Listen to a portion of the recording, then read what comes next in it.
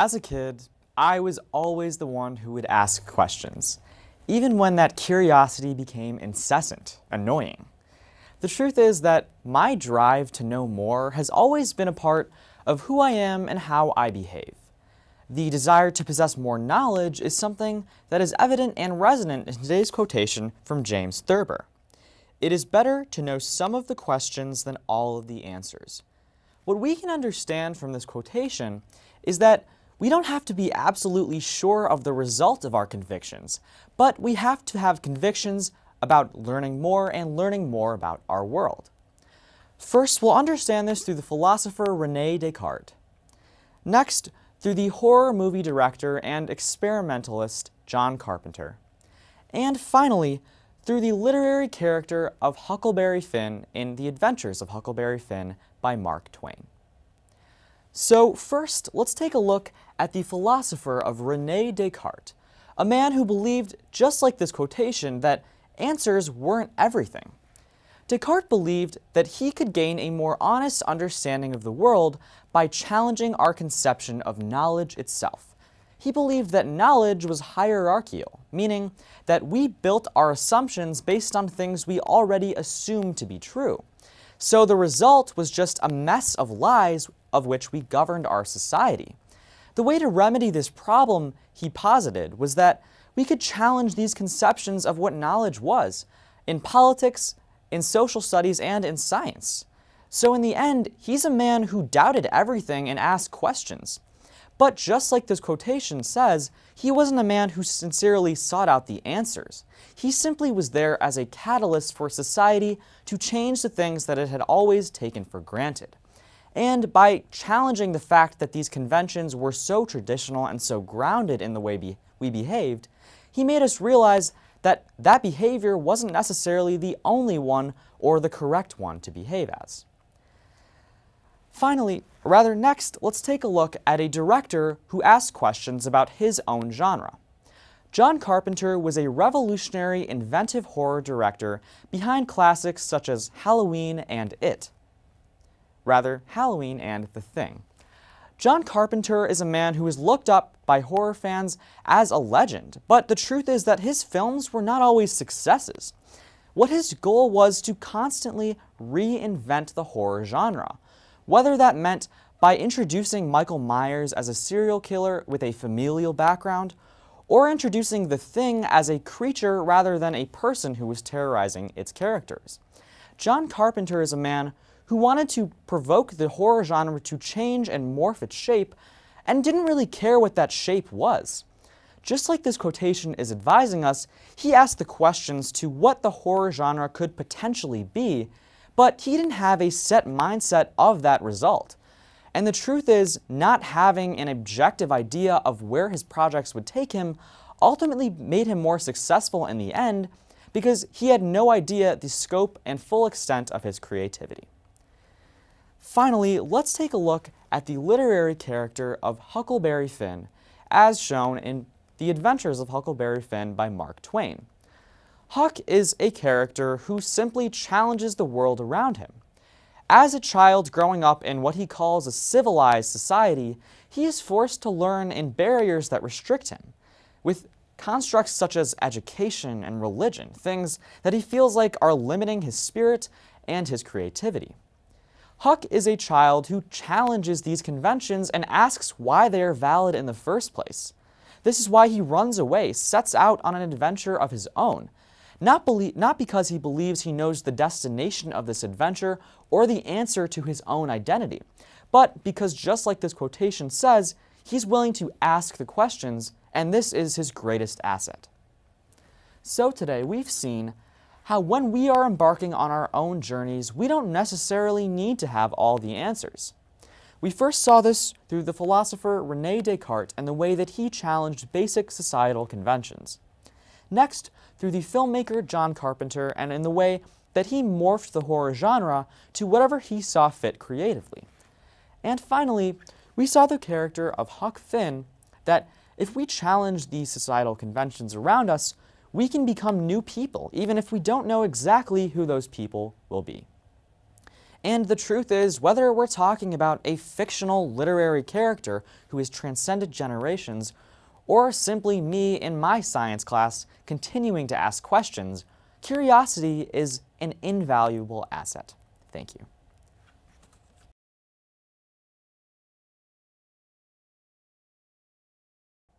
The bell was going to ring in 30 seconds, and the window to talk to my econ class crush was quickly closing. So, in an act of utter desperation, I said the smartest thing I could think of. So, what do you think of the Bitcoin? After an awkward glance and quick explanation that Bitcoin is not preceded by the, I was officially mortified and couldn't look at him for the rest of the hour. Conversations about Bitcoin are bound to happen, and it's up to you to be prepared. Today, I'm going to unravel the seemingly secretive history behind Bitcoin, explain how it works, and give you the information you need to understand what role you may play in its future.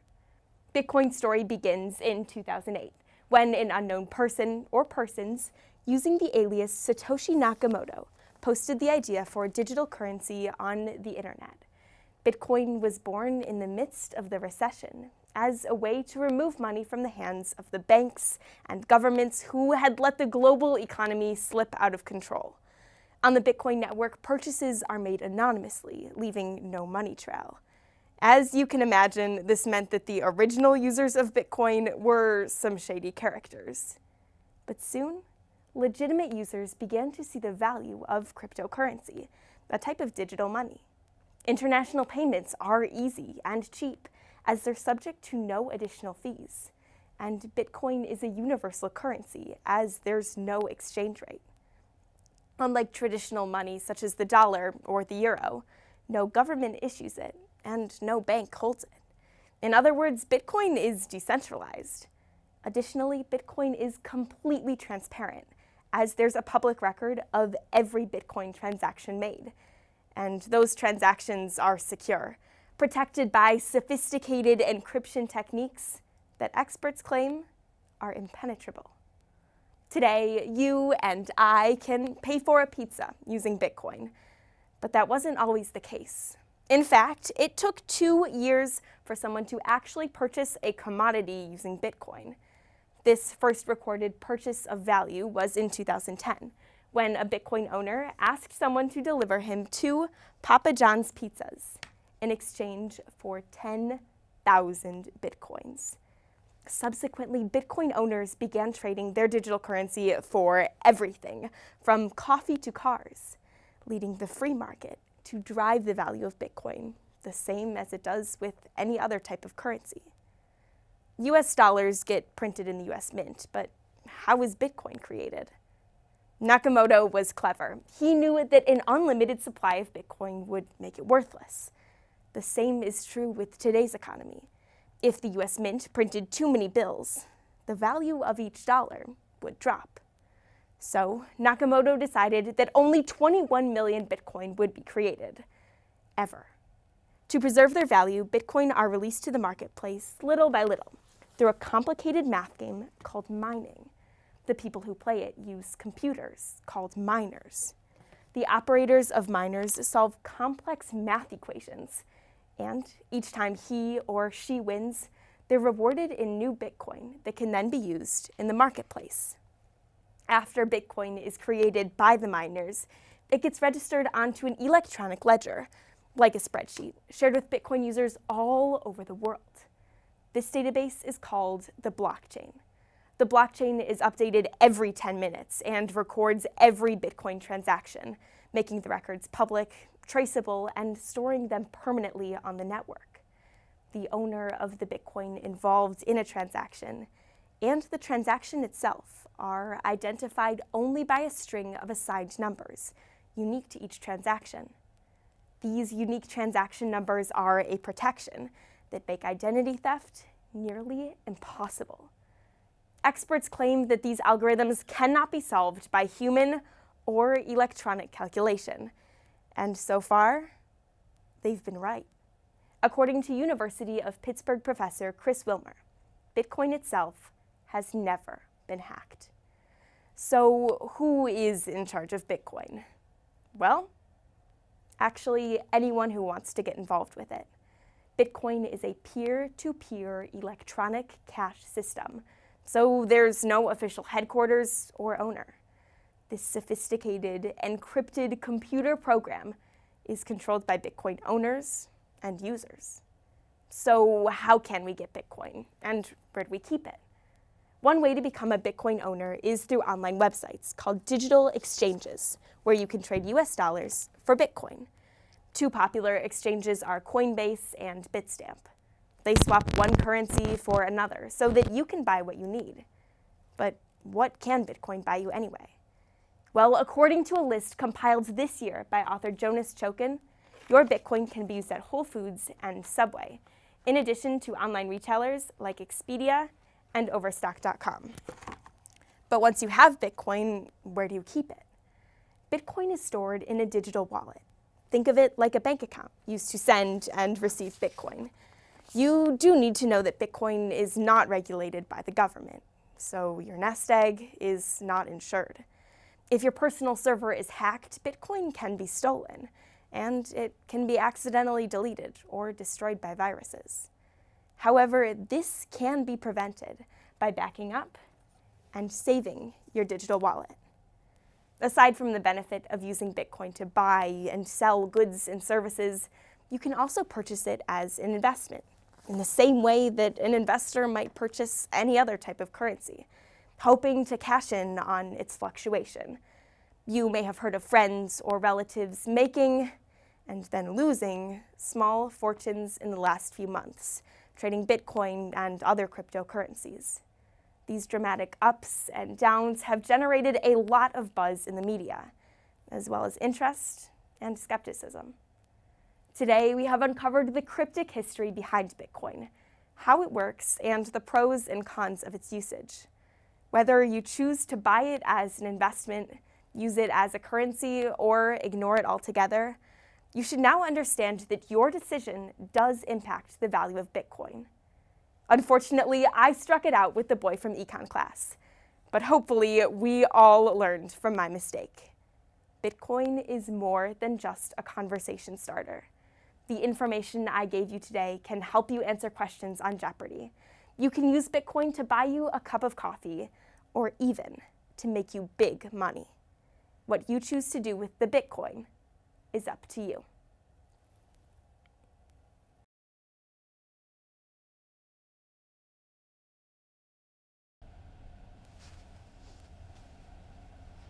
What's that smell? I'm cooking. Really? You don't cook? Well, I do tonight. What you cooking then? Your favorite food? Mmm, what's the occasion? Does a husband need an occasion to woo his wife? oh, so you're wooing me. Woo woo! Should have cooked for me when we first met.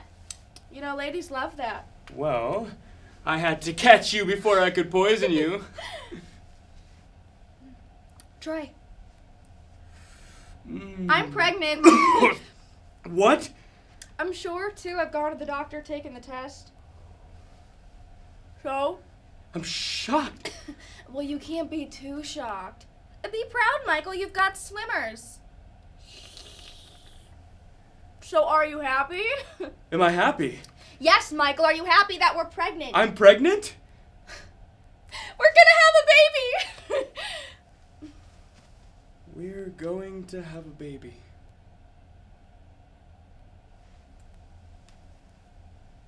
Raise your hand if your parents have ever told you that your birth was the best thing that ever happened to them. Well, they're probably lying, but congrats to you! However, baby jokes aside, psychology today explains that inevitably, all relationships undergo conflicts. And it is important that we understand and express the emotions that our relationship triggers. In other words, it is vital that we make the bond with our partner unbreakable. A, very, common, procedure. By Courtney Barron. As we were finishing building the crib, we started talking. Arguing about baby names. Um, Angelica. Ugh.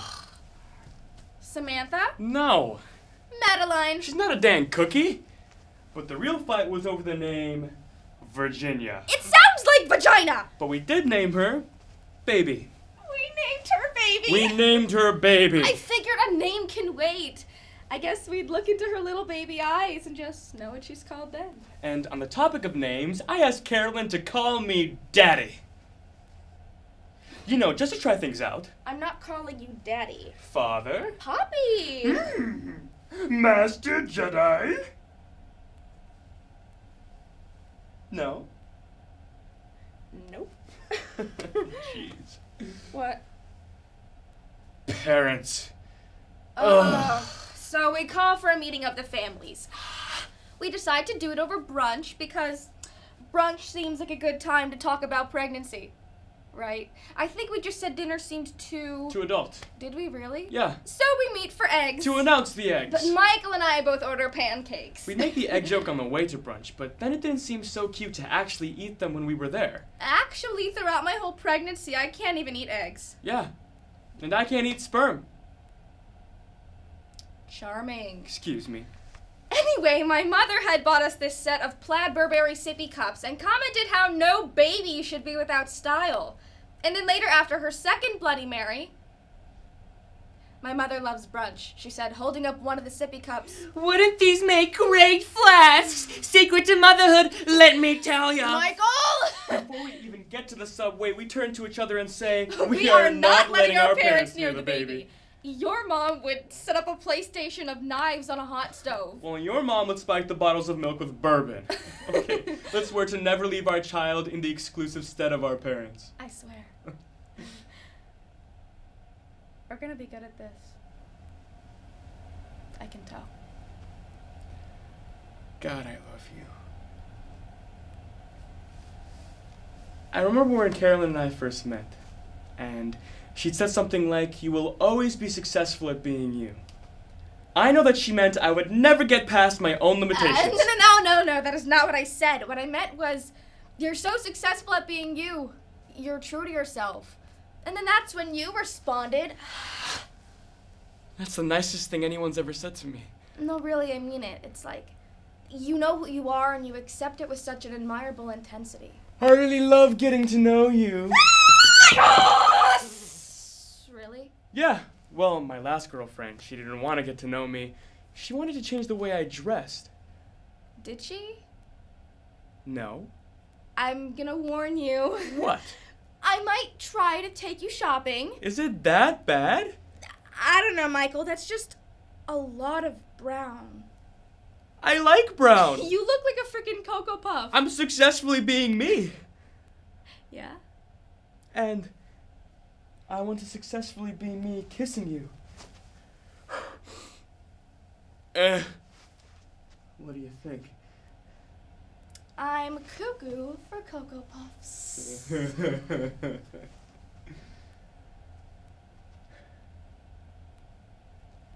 I fell in love with that woman on the first date. It's a sunny Friday in October when I'm eight months pregnant. I'm not gonna say that pregnancy was blissful, but it was good. Tired and fat, but good. And I was walking down the street on my way to mommy to be yoga class when I feel this trickle. And I start crying and I call for a cab right away because, you know, you just know. And so I call Michael and I tell him, Michael, I'm wet. Nice. No, I think my water just broke. what? It can't. It's not time. It's too early. I know. You want me to come? I can leave work. No. You'll be fine. I know. You will. I know. I'll call you. Three hours later, we're in the delivery room and our baby was born. She was She was small. a peanut. She was a peanut.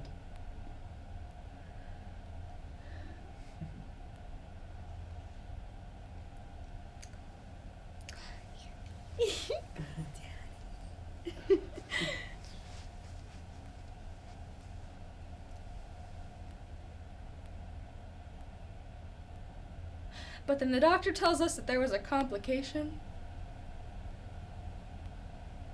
That they're taking our newborn daughter to get an MRI.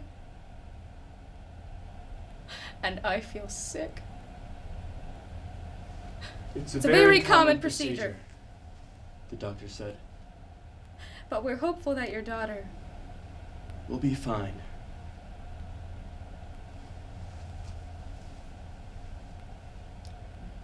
Old people die. That's natural. That is what I had always thought, but.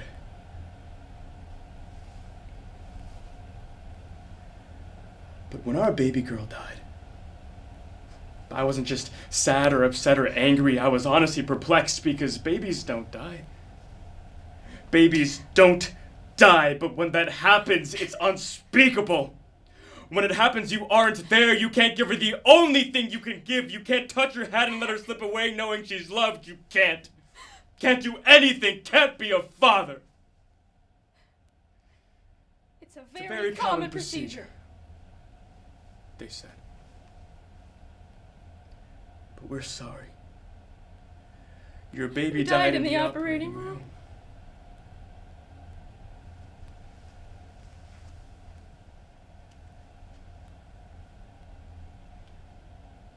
It's been a month. Michael cleared the apartment of baby things. It's been a month. And I miss my wife.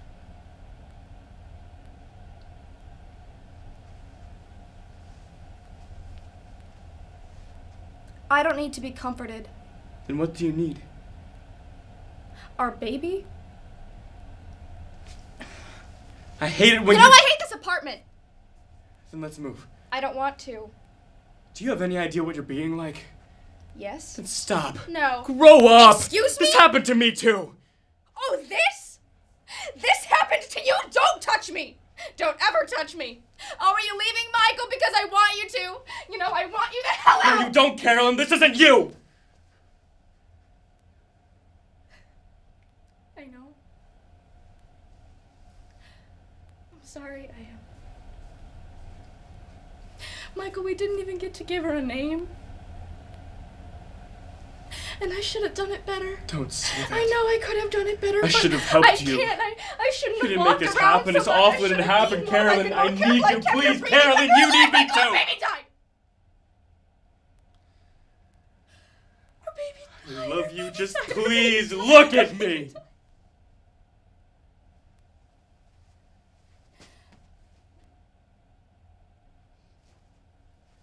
I want to be with you.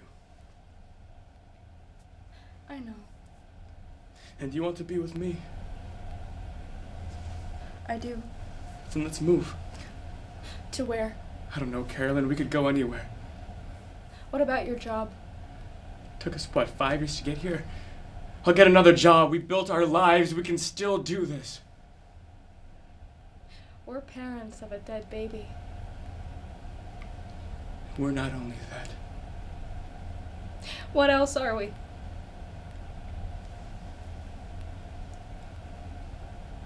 Together.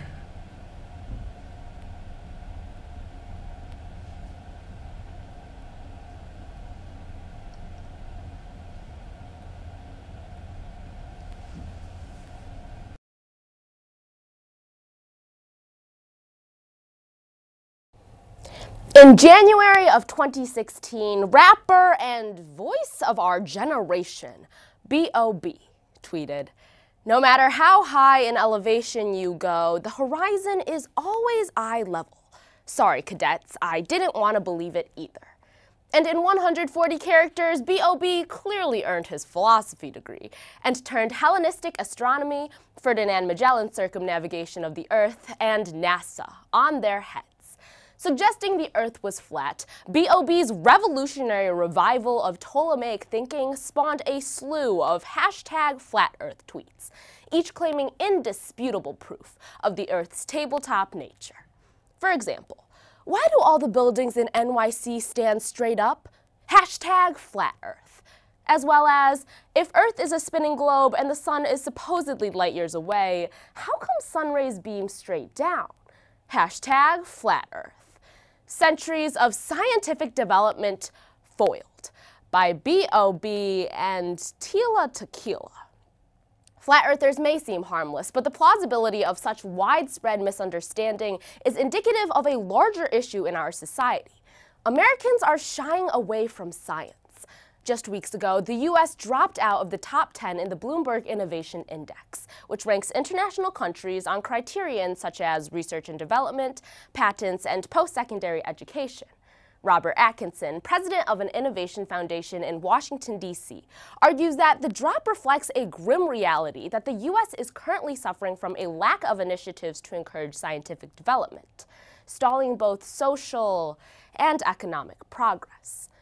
So today, we will hypothesize some causes to our decline in science literacy, observe some social effects before finally rigorously testing some solutions to the fear of science, an issue that CNN of April 13, 2010 believes will kill us. Oh, CNN, you're so overdramatic. Besides, that was 2010 and we're not dead yet. We're just stupid. As John Miller, professor of integrated studies at Michigan State University, puts it, 70% of Americans cannot understand the science section of the New York Times. And our aversion to science starts young, due to the way we teach science and the stigma surrounding the subject.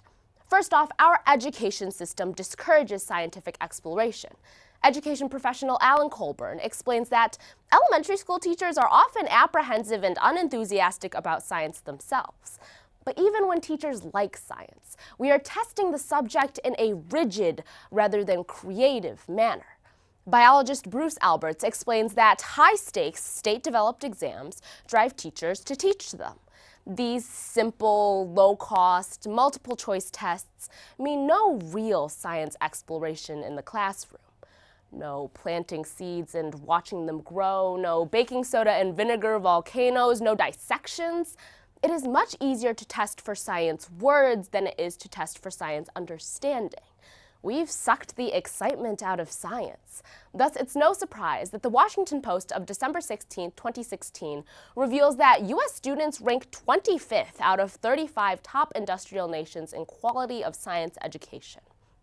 Similarly, tired scientific teaching practices have led students to stigmatize science itself with labels like boring, tedious, impossibly hard, which leads students to avoid a science education altogether.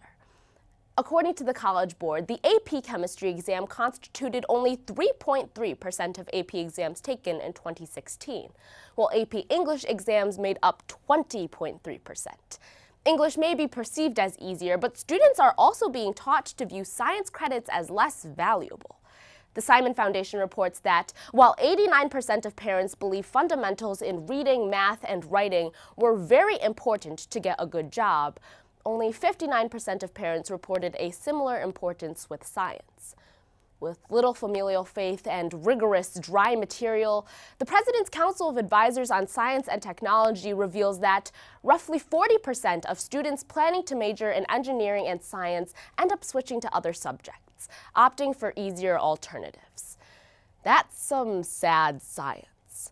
You know what else is sad? I honestly had to think about it when I saw the hashtag flat earth post trending. Like, I legitimately had to stop myself and go, but how do you know, Simona? How do you know the earth is round? How do you know you're right and legendary rapper B.O.B. is wrong?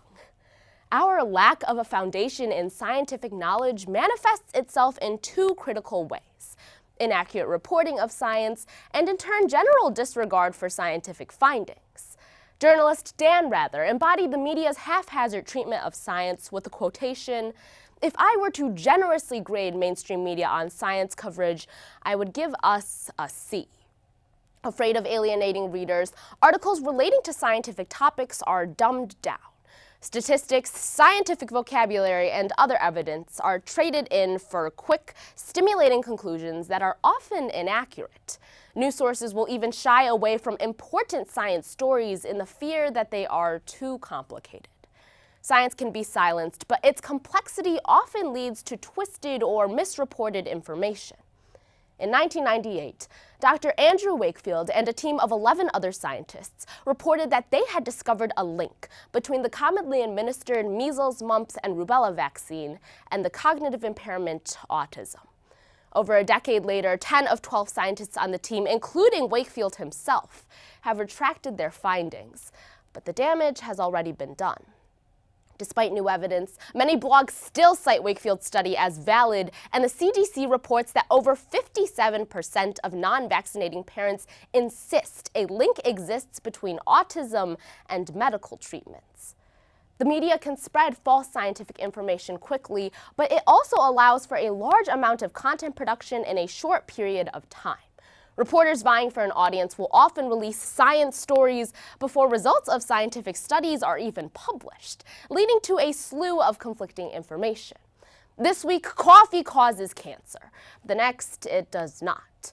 When faced with sloppy science reporting, many of us become overwhelmed or frustrated with the amount of conflicting information and instead turn to scientific conclusions that support our previously held worldview, a phenomenon known as confirmation bias. In other words, we throw the science behind the conclusions out the window and simply believe whatever aligns best with our perspective, defeating the purpose of science in the first place. Inaccurate reporting and our inability to understand scientific data ourselves has real world consequences. In August 2017, Hurricane Harvey wreaked havoc in Houston. Climate scientist Kevin Trenberth explains that homes and lives may have been saved if officials and policymakers had incorporated the recommendations of sound science in their plans. Despite data on the effect of climate change on storms, no preventative measures were taken to ensure the safety of Houstonians. In fact, our disregard for science likely contributed to the strength of the storm. Climate scientist Kevin Trenberth explains that human contributions to climate change can be responsible for up to 30% or so of the total rainfall coming out of the storm. Americans clearly disregard science at their own risk quicker than B.o.B throws out the laws of physics. Rethinking science education and fixing science communications are two ways we can begin to up our science IQ. It's not surprising that a renewal of scientific literacy must begin with education and teaching. At the secondary level, this means teaching applications of science rather than rote memorization of facts. Natasha Wadlington, a scholar at the University of Chicago, explains that classrooms should be safe havens where students can explore and discover science on their own terms. K 12 teachers should undergo specialty science training, and teaching science should be popularized as a respectable profession among science majors. Next, we need to fix communications between scientists and the public. Topics need not be dumbed down, but rather simplified in a way that is relatable to non-majors. By making content relatable, engagement rises and even non-majors can feel comfortable with topics being discussed. The same goes for articles written about scientific topics. Rather than completely abolishing complex topics, reporters just need to put complicated vocabulary in simpler terms. As legendary science journalist Tim Radford puts it, don't overestimate your readers' knowledge and don't underestimate their intelligence. And readers, be an informed consumer. Although checking sources may remind you of that one freshman writing class that you just wish to forget, oftentimes a simple check for validity can reveal the flaws in bad science reporting. Speaking of bad science, I realized I was right. The Earth is round, and we can tell this every day simply by looking at the existence of time zones, sundials, a picture of Earth from space. After examining the problems, causes, and solutions to our experimental evasions, we should realize that a renewal of scientific literacy must begin with a renewal of scientific education. And while it may be too late to convince B.o.B of some elementary science, hopefully we can still save future generations from similar hashtag flat earth dilemmas. Thank you.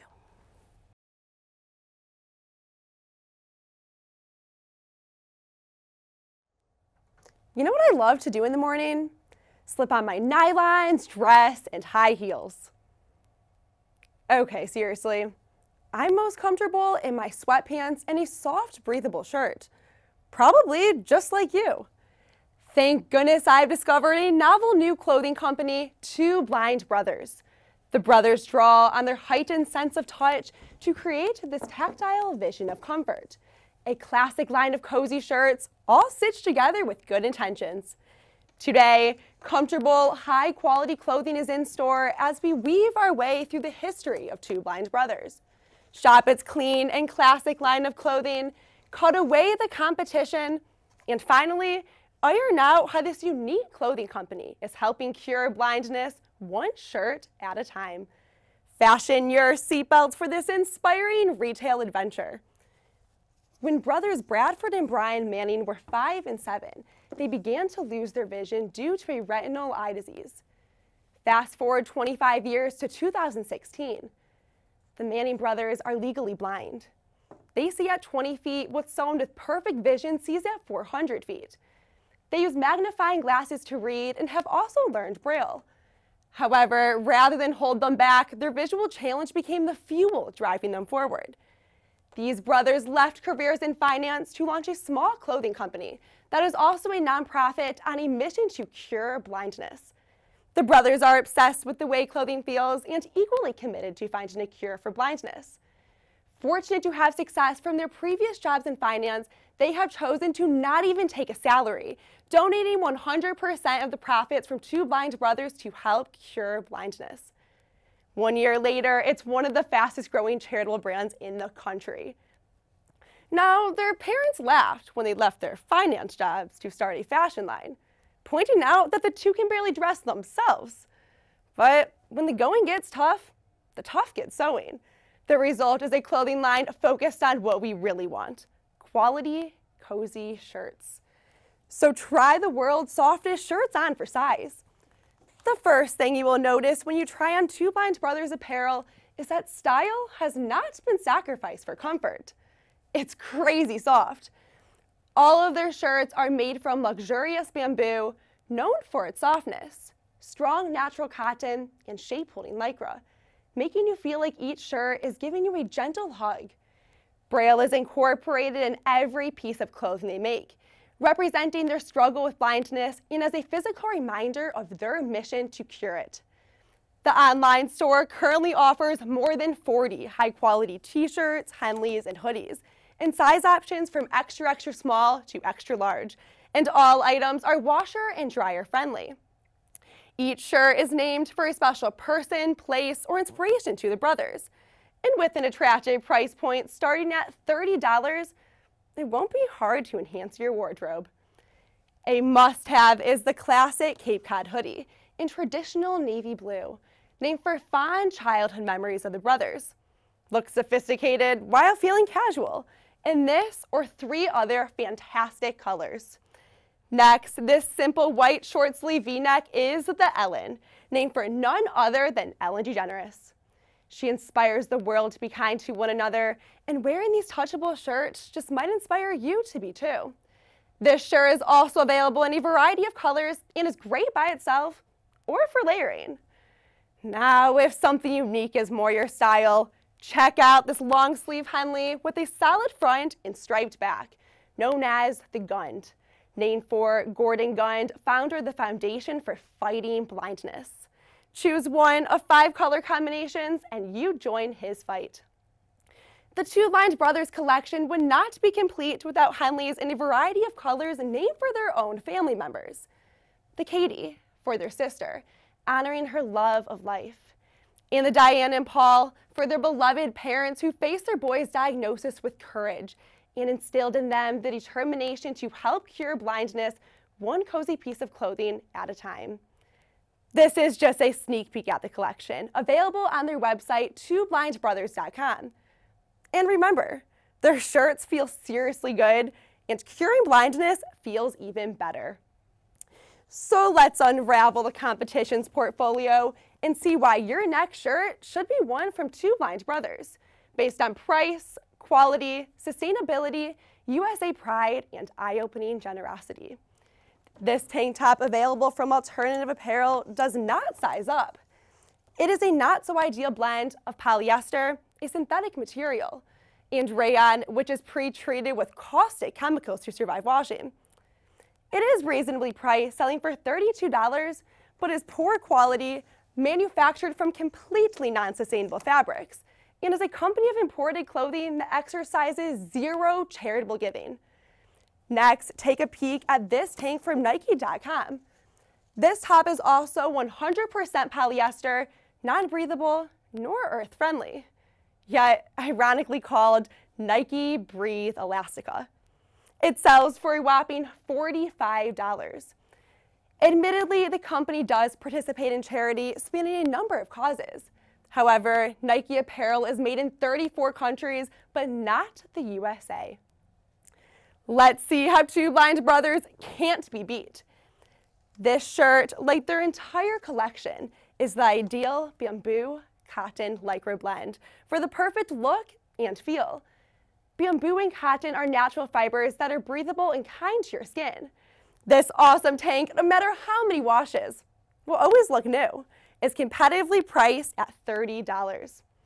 So now you see, it's a sheer win for Two Blind Brothers with the perfect combination of very soft, high quality, earth friendly fabrics manufactured in the USA and 100% of the profits from Two Blind Brothers are donated to curing blindness. The philanthropic efforts of Two Blind Brothers are eye-opening and begin in their Dallas-based factory. 70% of the company's employees are blind or visually impaired. Further, all of the profits from Two Blind Brothers are donated to curing blindness. And the company's efforts get an impressive head start since Bradford and Bryan do not take a salary. The brothers have personally selected beneficiaries like the Foundation Fighting Blindness, which has developed a successful gene therapy for a retinal disease that causes blindness at birth.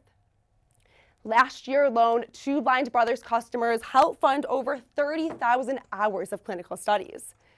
Every shirt sold means being one step closer to a cure for blindness, which impacts over 180 million people worldwide. Bradford and Bryan's eyesight may be impaired, but their field of vision is extraordinary. Through their clothing company, TwoBlindBrothers.com, they have made it easy for us to support curing blindness simply by buying and enjoying comfortable, high quality clothing that we want to have. Helping to cure vision by purchasing what may just be the softest clothing ever made makes perfect sense.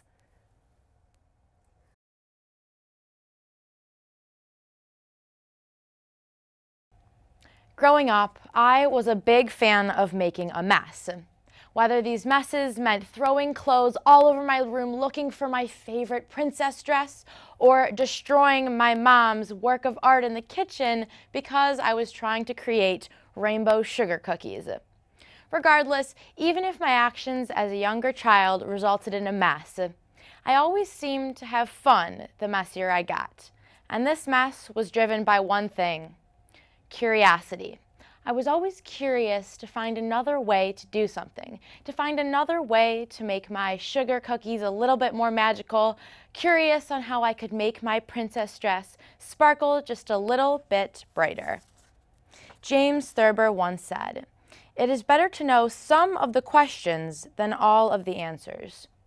Thurber's message can be interpreted to mean that in life, the drive for curiosity always defeats taking what is given to you or the easy way out. We can examine this through Ray Bradbury's novel Fahrenheit 451, popular British celebrity Simon Cowell, and finally by examining historia, figure of history Hercules Mulligan. We begin by examining the dystopian society described in Bradbury's novel Fahrenheit 451. The setting takes place in a life where government has complete censorship and control over everyone and works in an attempt to control its people by suppressing their curiosity. The main character, Guy Montag, expresses his feelings of curiosity as he searches to find his own true meaning of life rather than conforming to society's beliefs. In his journey, his curiosity defies drives him to defy society's expectations of him, and he is able to find a place in which he can call his home, somewhere off of the grid where the government can't control him. It is this curiosity that drives him to find this new meaning of life that gives him purpose.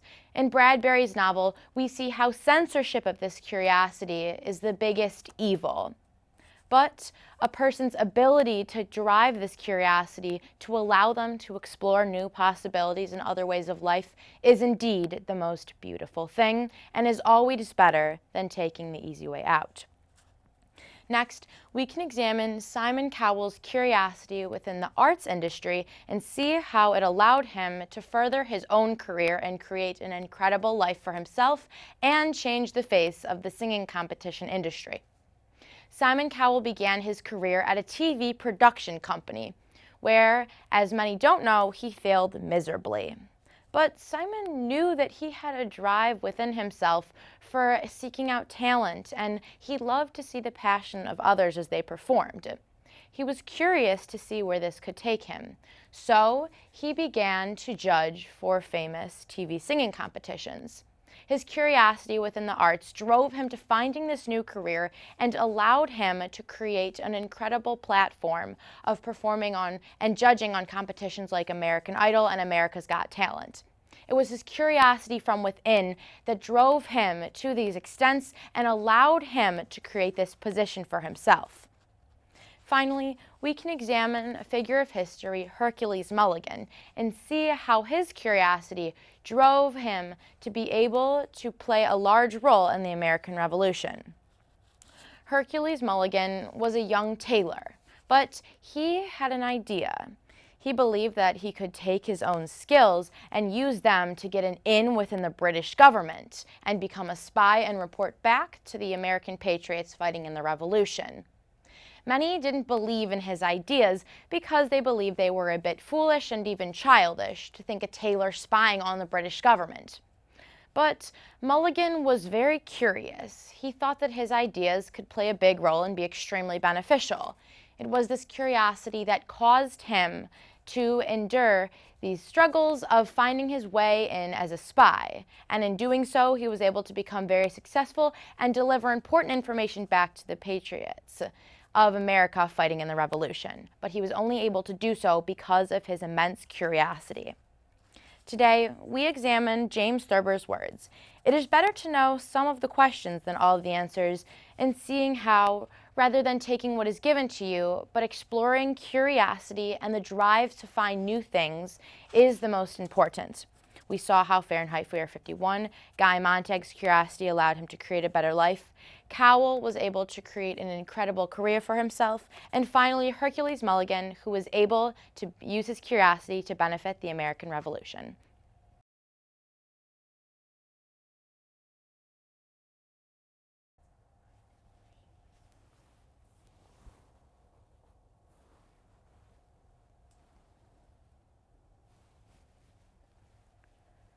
We talk about you behind your back, Samantha Oswald. In the hallways, in the bathroom, in the cafeteria. We talk about you all the time. You know how you have straight A's, but no friends. How you're actually proud of playing the oboe in the marching band. we also talk about how your hair gives off that, uh, that dull, disgusting glow when you walk under the fluorescent lights of the hallway. Maud? Yeah, she cringes every time you walk by her. Oh my God. rinse and repeat. And the rest of us, we agree. Basically, what I'm saying is we are the rich, the pretty, the athletic. And we love you, Samantha Oswald. The way tires love asphalt.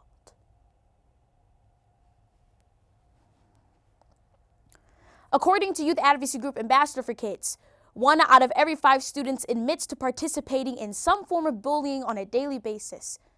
So with Snapchat and other forms of social media rising, bullying is transcending high school hallways and are ever present in the lives of teens today.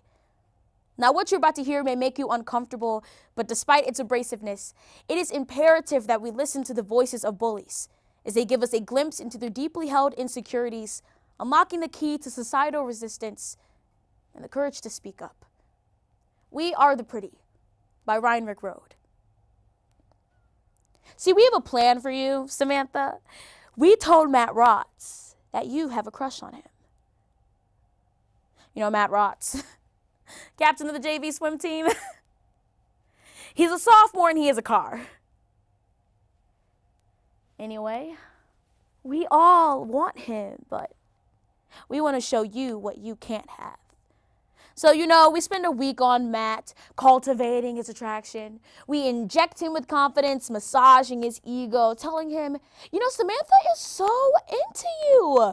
You know, she's just a little shy. You have to take her out. Matt starts to come around. See, Matt tells us that you're smart, funny, and easy to talk to. But really, he just feels sorry for you and hasn't realized it yet. you know, he's not over Katie Goldsmith, and his judgment is just a little bit clouded. We just need Matt to rebound before we can make our move. your hair is glittering like nuclear waste when he stops at your locker. You know, he leans on the wall the way he always does. His t shirt squared up against his broad shoulders and he smiles at you. We lean in so we can hear him deliver the lines we have sculpted onto his tongue. You know, casual yet carefully crafted, slowly pulling you into the big question oh, hey, Samantha. You know, uh, I was wondering if maybe you wanted to come over this weekend, watch a movie. We suppress our knowing smiles. But what do you do? You smile your stupid smile and you say, um, Matt, I think it'd just be better off if we stayed friends. And you send him back to us. Oh my God. What a bitch. You know, the rest of us, we agree. I mean, who do you think you are, Samantha? I mean, I mean, we won't ask you that to your face, but we will spend all weekend asking each other what is wrong with you. I mean, you're the only girl in the graphic novel club. You have no friends, unless you count Ms. Woodward, the history teacher, and you always wear the same hoodie. You never wash it. We know because that dandruff kicked on your shoulders is always thicker than it was the day before. And honey, nobody's actually proud of playing the frickin' oboe. I mean, compared to you, we're basically goddesses. Aphrodite, Athena, all at once. And we say it to each other like passing the peace at church. Because, honey, there is safety in numbers. I mean, look at Amber over there. Muffy topping over her size eights. She's fat and everybody knows it. But we say nothing when she drowns her salad in ranch dressing and cheese because she is us. Now, don't misunderstand. We're not fat, though uh, Kayla was once in middle school, but now she works at Hollister and her thighs don't even touch.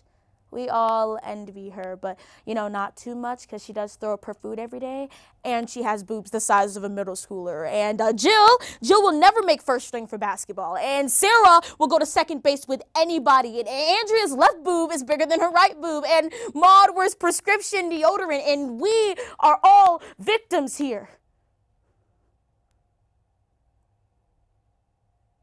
Except for you, Samantha. So go ahead. Hold your head high. Wear that dandruff caked marching band hoodie with pride. We know who you really are. On Monday after school, you stop at Matt's locker. You know, your hair is neatly put into a ponytail, and it is so obvious that you're finally starting to try. I mean, haven't you heard?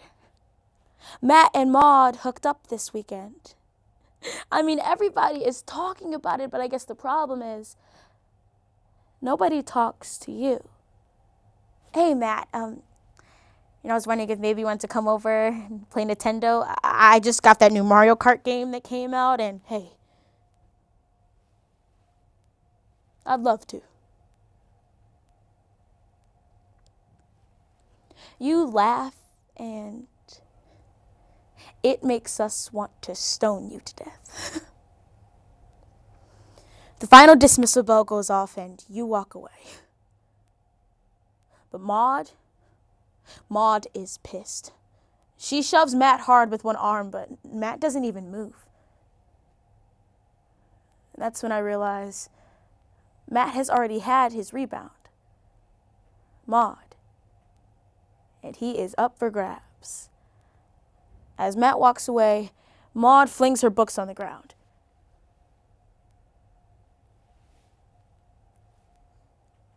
But none of us move to help her. She stands up and walks away. Oh my god. what a bitch. And the rest of us?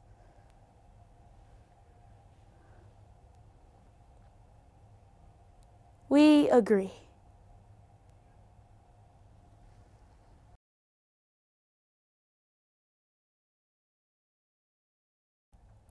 The end of North Korea's weapons program, a shooting in Nashville, and news from a local preschool.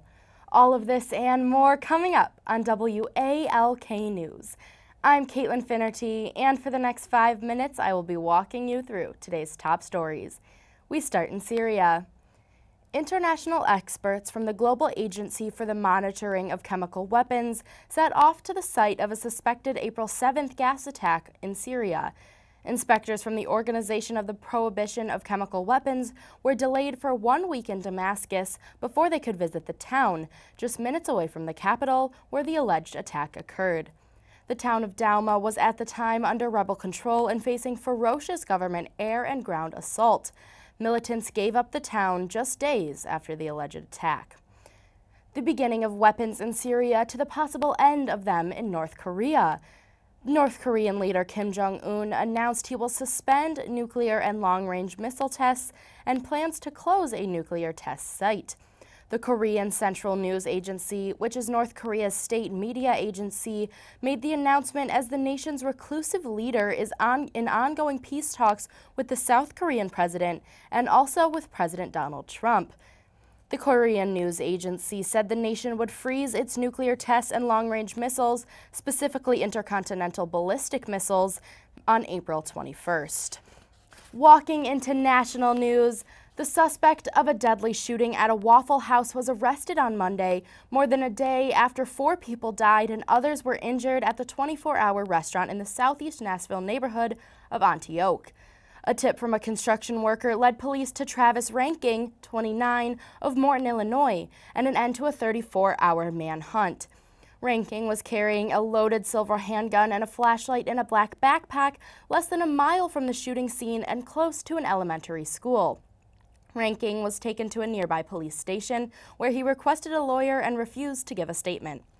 While Nashville is mourning for, this former president is dealing with his own health after mourning his late wife.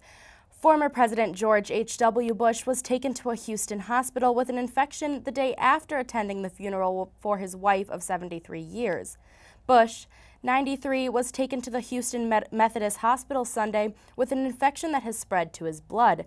He is responding to treatment and appears to be recovering, Bush spokesman Jim McGrath said. The 41st president was in critical condition and his blood pressure dropped dangerously low before stabilizing. We finish our broadcast in local news for our featured story of the day. Huda Danaway said she was shocked when she went to pick up her five-year-old son from preschool on March 27th and was told that he was found during lunchtime with his mouth taped shut and his food thrown in the garbage. My heart dropped, she told the Free Press. Danaway said she was told by one of the teachers in the Crestwood School District's preschool program who walked in and discovered what a substitute teacher aide had done on March 26th. Danaway said no one from the program called to tell her what happened, and instead she found out when picking up her son the next day. This brings us to today's edition of The Sidewalk, where I give my views on today's featured story. Please note that the following views are my own and do not reflect those of WALK News or its affiliates. As a student with a younger sibling in a similar setting to this one, I feel real emotion towards this story and Huda Danaway and her son. I think that any person who is so emotionless and incredibly impatient to tape a young child's mouth and throw away their food should really redetermine their career path in teaching. School environments have changed in the last 10 years, and while discipline is still important, nothing like this will ever be okay. A parent sends their children to school under the impression that they will get a safe learning environment where they're supposed to grow. How can any parent be confident to send their child to a place where the administration hires a teacher, substitute or not, that thinks action like this is okay? Direct consequences need to stem from behavior like this from teachers, starting first by firing the awful substitute, and then by making sure all new teachers to a building are observed and follow any school protocol that might be unfamiliar to those where discipline disciplinary action was taken just a bit differently. We continue back, finishing with our weather forecast. Today, on Tuesday, temperatures will be in the mid 50s with a 60% chance of rain around 3 o'clock in the afternoon. For WALK News, I'm Caitlin Finnerty signing off on your broadcast. Make sure you catch up with us on tomorrow's broadcast. Thank you so much.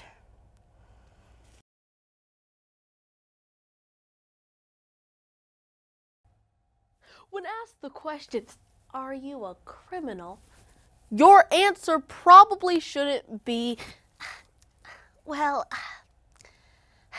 I might be, even if you might be. When being pulled over by the cops, do not pull down your pants and press your black behind to the window as some form of identification.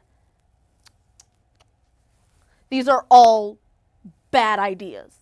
The kind of bad idea like, shouldn't you know better? Who does that anyway type of bad idea? Growing up, I was one of a kind. I never knew many people that looked like me personally, but I knew them from their mugshot shown in the news. There are over 70,000 more African Americans in the U.S. prison system than there were slaves in the 1850s. That's because the system cannot fail those who it was never meant to protect. We are not criminals, a poetry program.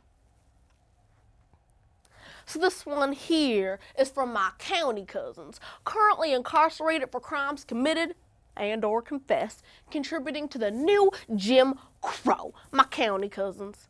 Not to be confused by my country cousins currently in Kansas cooking cornbread and collard greens in the kitchen now. Those cousins you see every summer. These cousins you see every quarter century in county, constantly making collect calls inquiring about commissary cursed to forever circulate in and out of this country's industrial prison complex. I've heard the way you talk about young black people. you say, how can they be so angry? How? How can they be so loud? Which to me sounds like, how can they be so brave?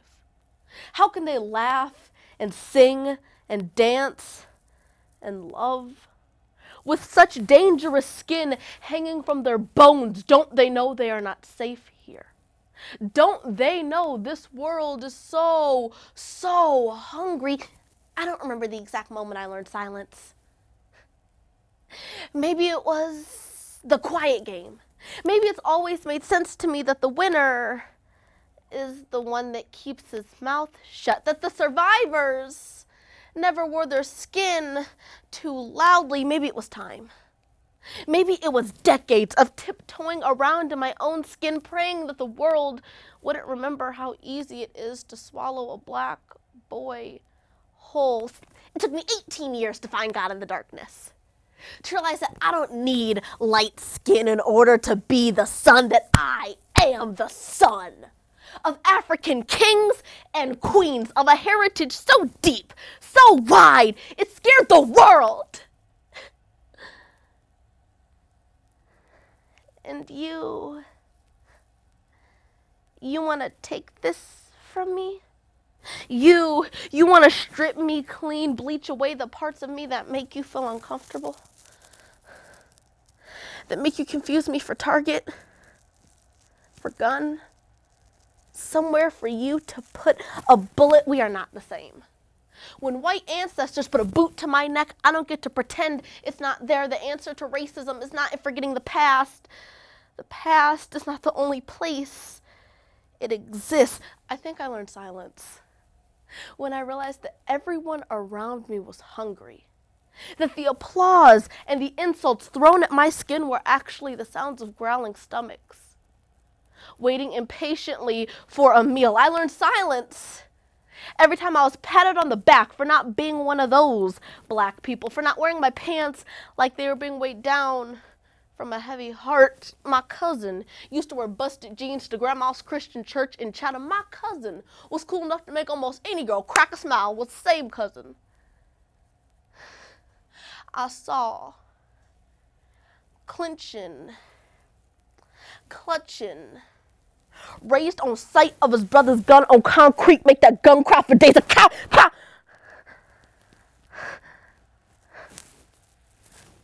Then one day, a crooked Chicago cop came and cased my cousin before college. Now, my family only congregates in courtrooms. I can hear the jury concluding caucus that would decide his fate, but I can't concentrate. I think I learned silence when I realized I don't have to say anything. How many times have I opened my mouth only to hear someone else's voice? How many times have I realized that this body is not my own? That I'm never going to be anything than who you've already decided I am. All I can do is think about when we were kids. I used to play cops and robbers on the corner and the pleasure I got each time my cousin was caught and placed in imaginary cuffs, and now guilt creeps my conscience. For I'm no different than these cops for how willing I am to make criminal out of my kin. The color of our skin carries so much weight. I can understand why you want to set it down. But you're asking me to pretend. Pretend like we're all born with a blank slate. Pretend like some things haven't already been chosen for me. You're asking me to do something I've never had the privilege to. Blindness is never a solution. Don't you dare close your eyes. Look at me.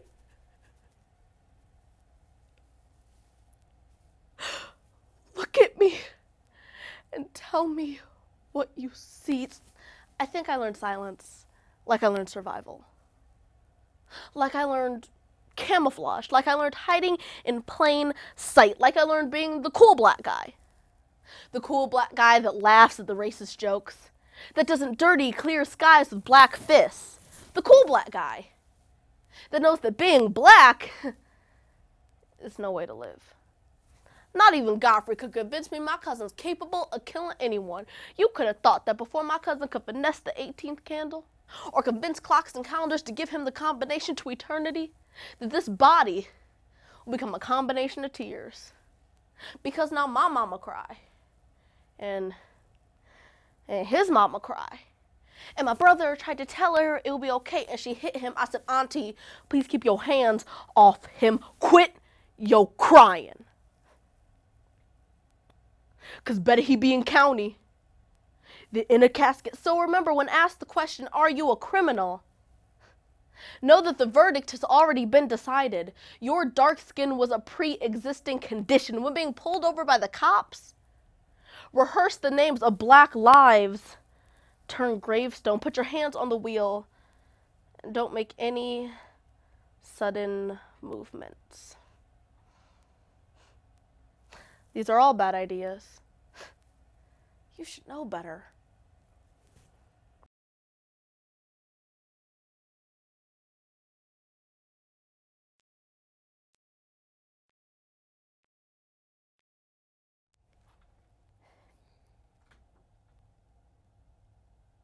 When 2012 presidential candidate Mitt Romney decided that he was going to be running for the Senate as a senator from Utah, he figured that securing the Republican nominee in nomination would be pretty easy. Yet it has proved to be quite the opposite, in fact, with Romney not actually getting the 60% that he needed in order to get the nomination, and now having to face something he never thought he would have to a Republican primary. And so, when asked the question today, is Mitt Romney's Senate primary for the senator of Utah a mere formality? I had to answer not necessarily, because he doesn't have the support of all GOP party members in Utah. We can examine this through three main areas of study. First, by looking at the fact that GOP members were quite split upon who should get the nomination. Next, by looking at the fact that Romney uh, committed a taboo of the GOP party by collecting signatures. And finally, by exploring the fact that Romney is a harsh critic of Donald Trump, which may prove to be a detriment towards his case. So, first, let's take a look at the fact that the GOP party in Utah seems to be quite split about who should actually be getting the nomination when it comes to it. The state of Utah is one that is mainly Republican and one that has many conservatives who are, in fact, quite aligned with Mitt Romney's agenda. And so Mitt Romney clearly believed that he would be able to secure the nomination, and yet it was quite the opposite. Mitt Romney needed 60% of votes in this primary caucus in order to try in order to get the nomination without having to go through a series of primaries, and yet Mitt Romney only got 49% of votes according to CBS News as of April 21st. And so what we can see here is that Mitt Romney wasn't actually that close to even securing the nomination. He didn't even get the majority of votes among the party in Utah. And so with this, it seems as though the primaries aren't going to be a formality. If his other major opponent, Mike Kennedy, was able to get 51% of votes, it seems as though some conservatives in Utah are looking towards other people than simply Romney.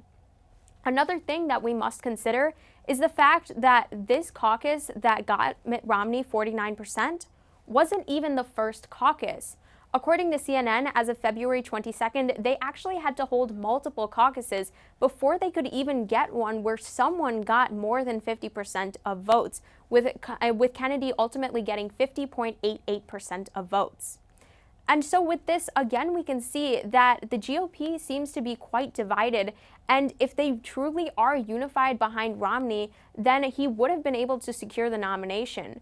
But with them being so divided, it seems as though the waters are not going to be clear for Romney to easily secure this nomination. And this is not a mere formality. Next, let's take a look at the fact that one of the biggest mistakes that Mitt Romney committed might have been the reason that he did not secure this nomination, and that was the fact that he decided to collect signatures. One option for someone who is deciding to run for an office is to try and collect signatures in order to get their name on the ballot. And Romney decided to do this, collecting 28,000 signatures. But Romney even even indicated that he this may have been a mistake on his part, according to the Salt Lake Tribune as of April 21st. The reason for this? The Republican Party heavily looks down upon the act of collecting signatures. According to the New York Times, as of April 21st, many GOP party members believe that collecting signature is trying to undermine their credibility as trying to nominate someone by trying to get rid of a true nomination system. Essentially, what they believe is that Romney is more focused upon actually securing the nomination through any means possible than having the major support of party members in the state of Utah. And so, with this, we can understand that some party members are going to be hesitant to support Romney if he didn't put his faith in the system of simply getting enough votes in a caucus to secure the nomination, but instead decided to get signatures. And finally, let's take a look at what may turn out to be one of Mitt Romney's biggest faults, and that is the fact that he is an opponent of Donald Trump and has been a harsh critic of Trump despite the fact that they are both in the same party. Mitt Romney has been someone who has been critical of Donald Trump essentially since the beginning of Donald Trump's political career. He has been very outspoken and would ultimately prove to be someone who may actually get in the way of Donald Trump's agenda, according to The Atlantic as of April 6th. And so, with this, some conservatives in Utah may not actually want to vote for Romney because he could get in the way of Donald Trump achieving what he hopes to do and therefore could actually prove to be an opponent of the Republican Party in the White House rather than an ally and another member of the party.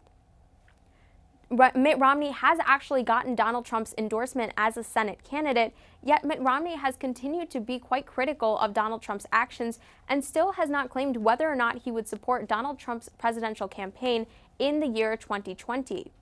This is something that is important to consider when considering the fact that he is running in the state of Utah because the state is so supportive of Donald Trump, according to the Washington Post as of March 6th. And so, with this, we can understand that this is going to cause the Republican Party to become even more split about whether or not they want to support Mitt Romney, ultimately, because he may pose to be an opponent of the president that they so heavily support. And so, when asked the question today, is Mitt Romney's Senate primary in Utah simply a formality? I had to answer no, because of the fact that some GOP party members seem to not actually support Romney, and there's quite a bit of division. We were able to understand this through three main areas of study. First, by looking at the original caucuses and how GOP party members seem to be quite divided.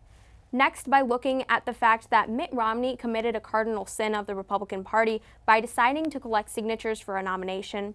And finally, by exploring the fact that Mitt Romney is a harsh critic of Donald Trump and may ultimately get in the way of Trump achieving his agenda.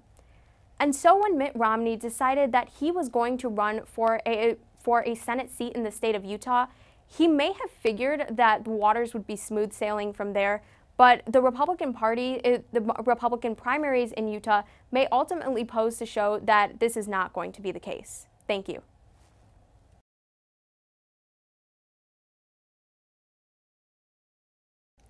Silent nights, holy nights, all is calm, all is bright. Oh, oh, I'm sorry about my voice. Uh, sometimes I get a little I'm carried away when I sing.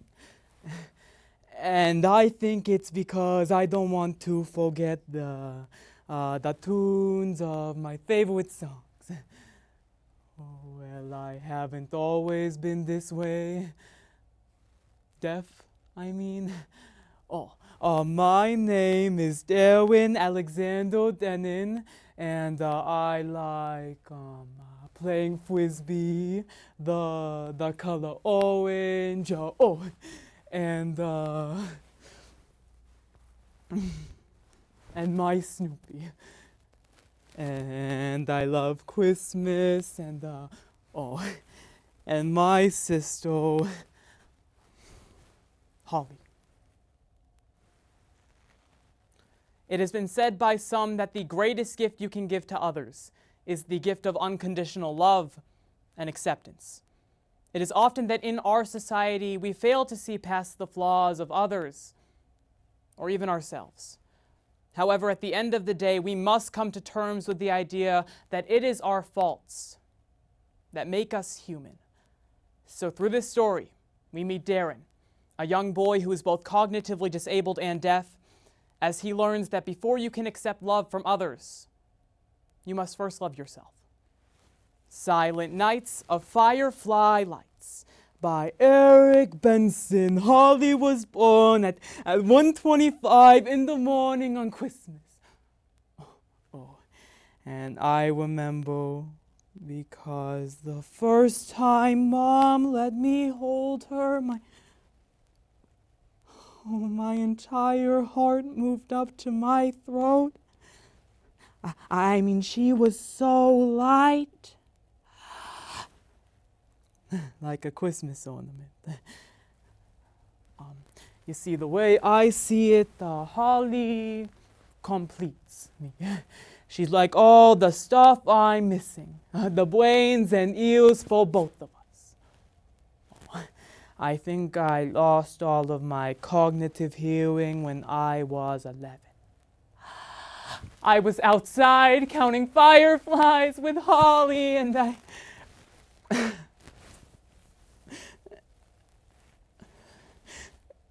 And you know, it was kind of sudden. Like, like, like all of a sudden, the, the, the, crickets just stopped chirping. And Holly was singing this song, and her lips were moving, but, but, but nothing was coming out. And so I told her, and I guess she started singing really loudly, but. Oh, but I couldn't hear her. You know, it was just this silent night full of firefly light. And I told my parents, and they took me to the hospital. And I was uh, really scared. Um, but, but, but Holly held my hand the entire way there. And, and in my mind, I thought Santa must be the best guy in the world for giving me a Christmas present like this. I wanted to make Holly the best Christmas present in the entire world.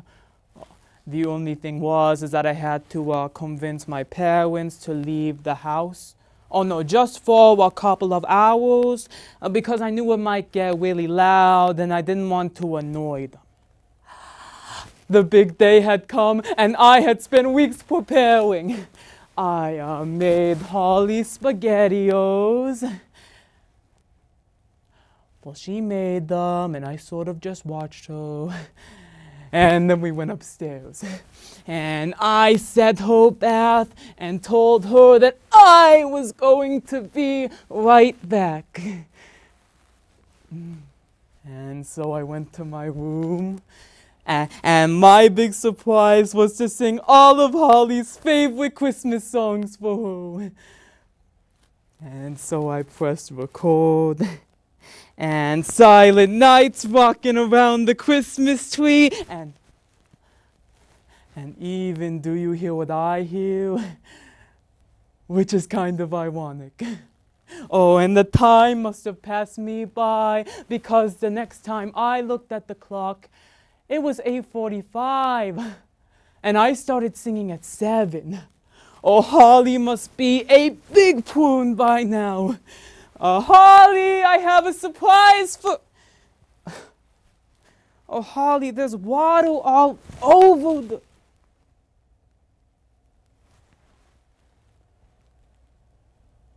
Oh. Oh no, why does she look like that? Uh, you know, her, her head was under the water. Um, uh, Holly, it's time to wake up now. Holly. Uh, Holly, wake up. Holly. Holly. Holly, wake up. Holly, Holly, wake up right now or, or you're gonna be in big.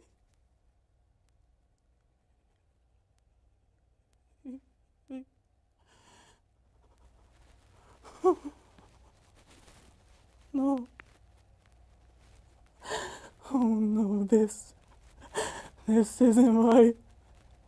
You know, I may be slow and deaf and stupid and stupid and stupid, but this isn't what a little girl is supposed to look like.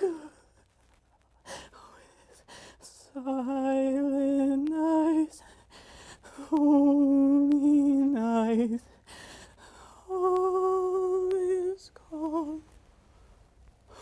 All is.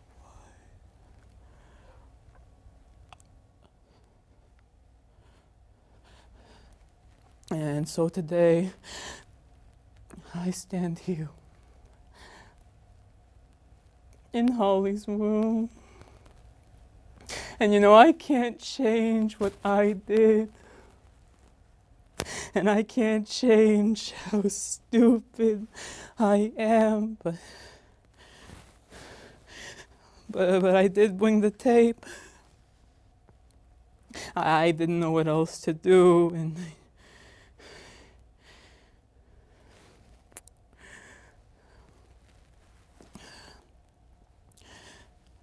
oh, Merry Christmas, Holly.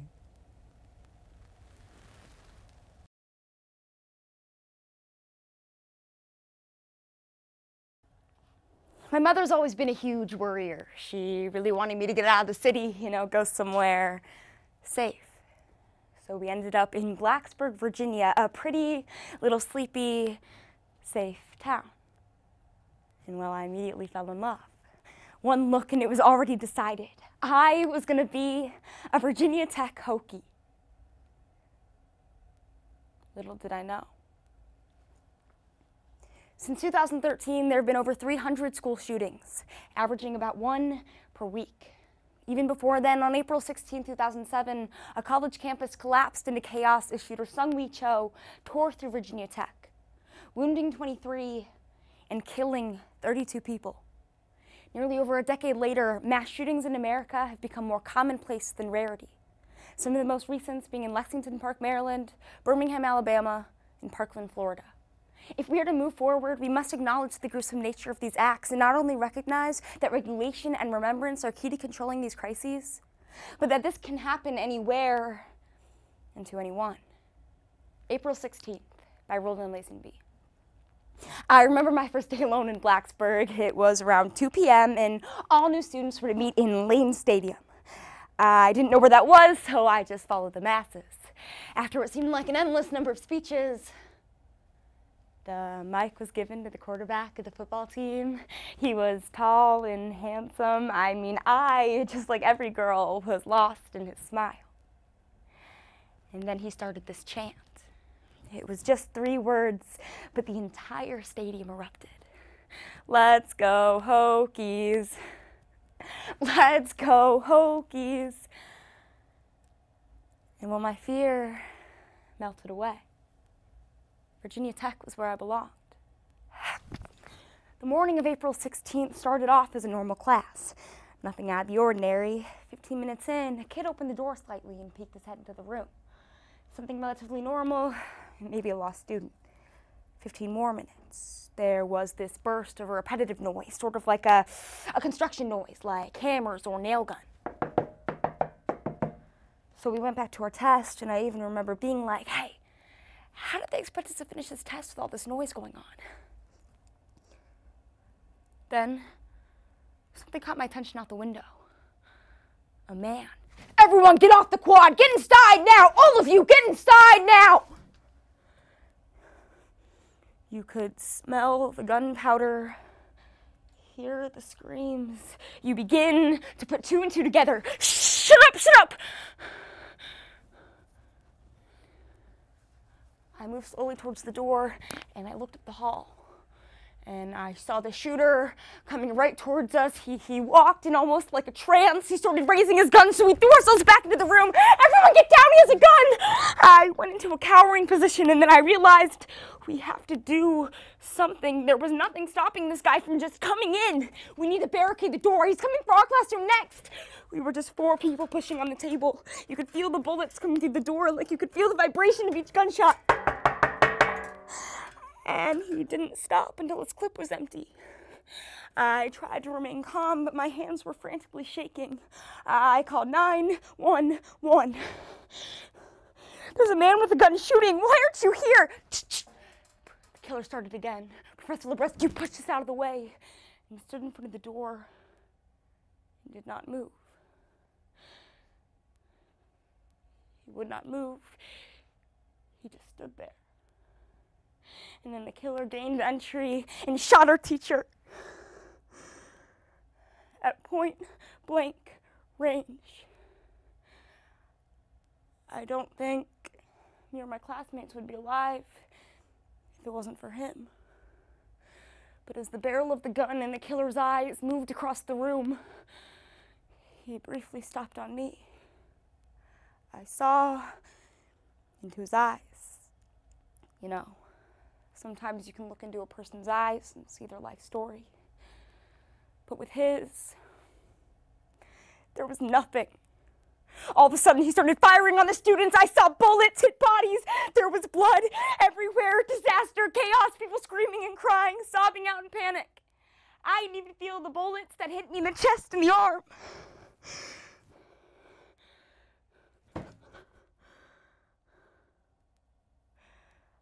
Faded in and out of consciousness. Sirens, flashing lights, voices everywhere. Then there were the cell phones ringing in the body bags as they carried out the victims.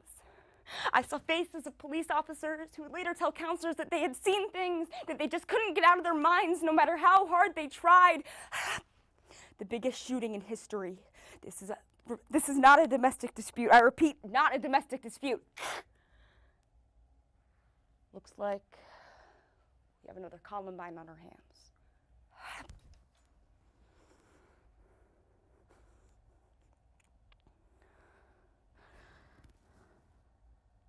What do you do when you wake up to the sound of your friend crying because she got the phone call confirming the death of her friend? What do you do when you can't get a hold of your brother who lives in the hall? What do you do when you realize that your former French teacher, who used to play French techno music videos on Fridays, and your peers, Austin, Caitlin, Daniel, Aaron, and Matt, are dead? You think, why? You watch TV for eight hours just to hear the same news. You check Facebook profiles, you reflect, and you remember every stupid, careless, selfish thing you've ever done. The candlelight vigil gave us the opportunity to mourn in our own ways, but together. And while together, it's the best way to be. The feeling of loss hit me at the ceremony with the releasing of the balloons. 32. It's just a number. Until you stand there and listen to 32 tolls of a bell and watch 32 balloons float away for each life lost. But our Hokie Nation is real and our bond is incredibly strong. We came together to cry, to hope, and to heal. And then the crowd began to cheer. Let's go, Hokies. Let's go, Hokies. The repetition of those three simple words, well, they meant everything to us. People talk about April 16th being Virginia Tech's darkest hour. Well, I think in the hours after the shooting, those were Virginia Tech's finest hours. The way the whole community came together in the face of an awful, horrible tragedy. It reminded us that we can and we will recover in due time.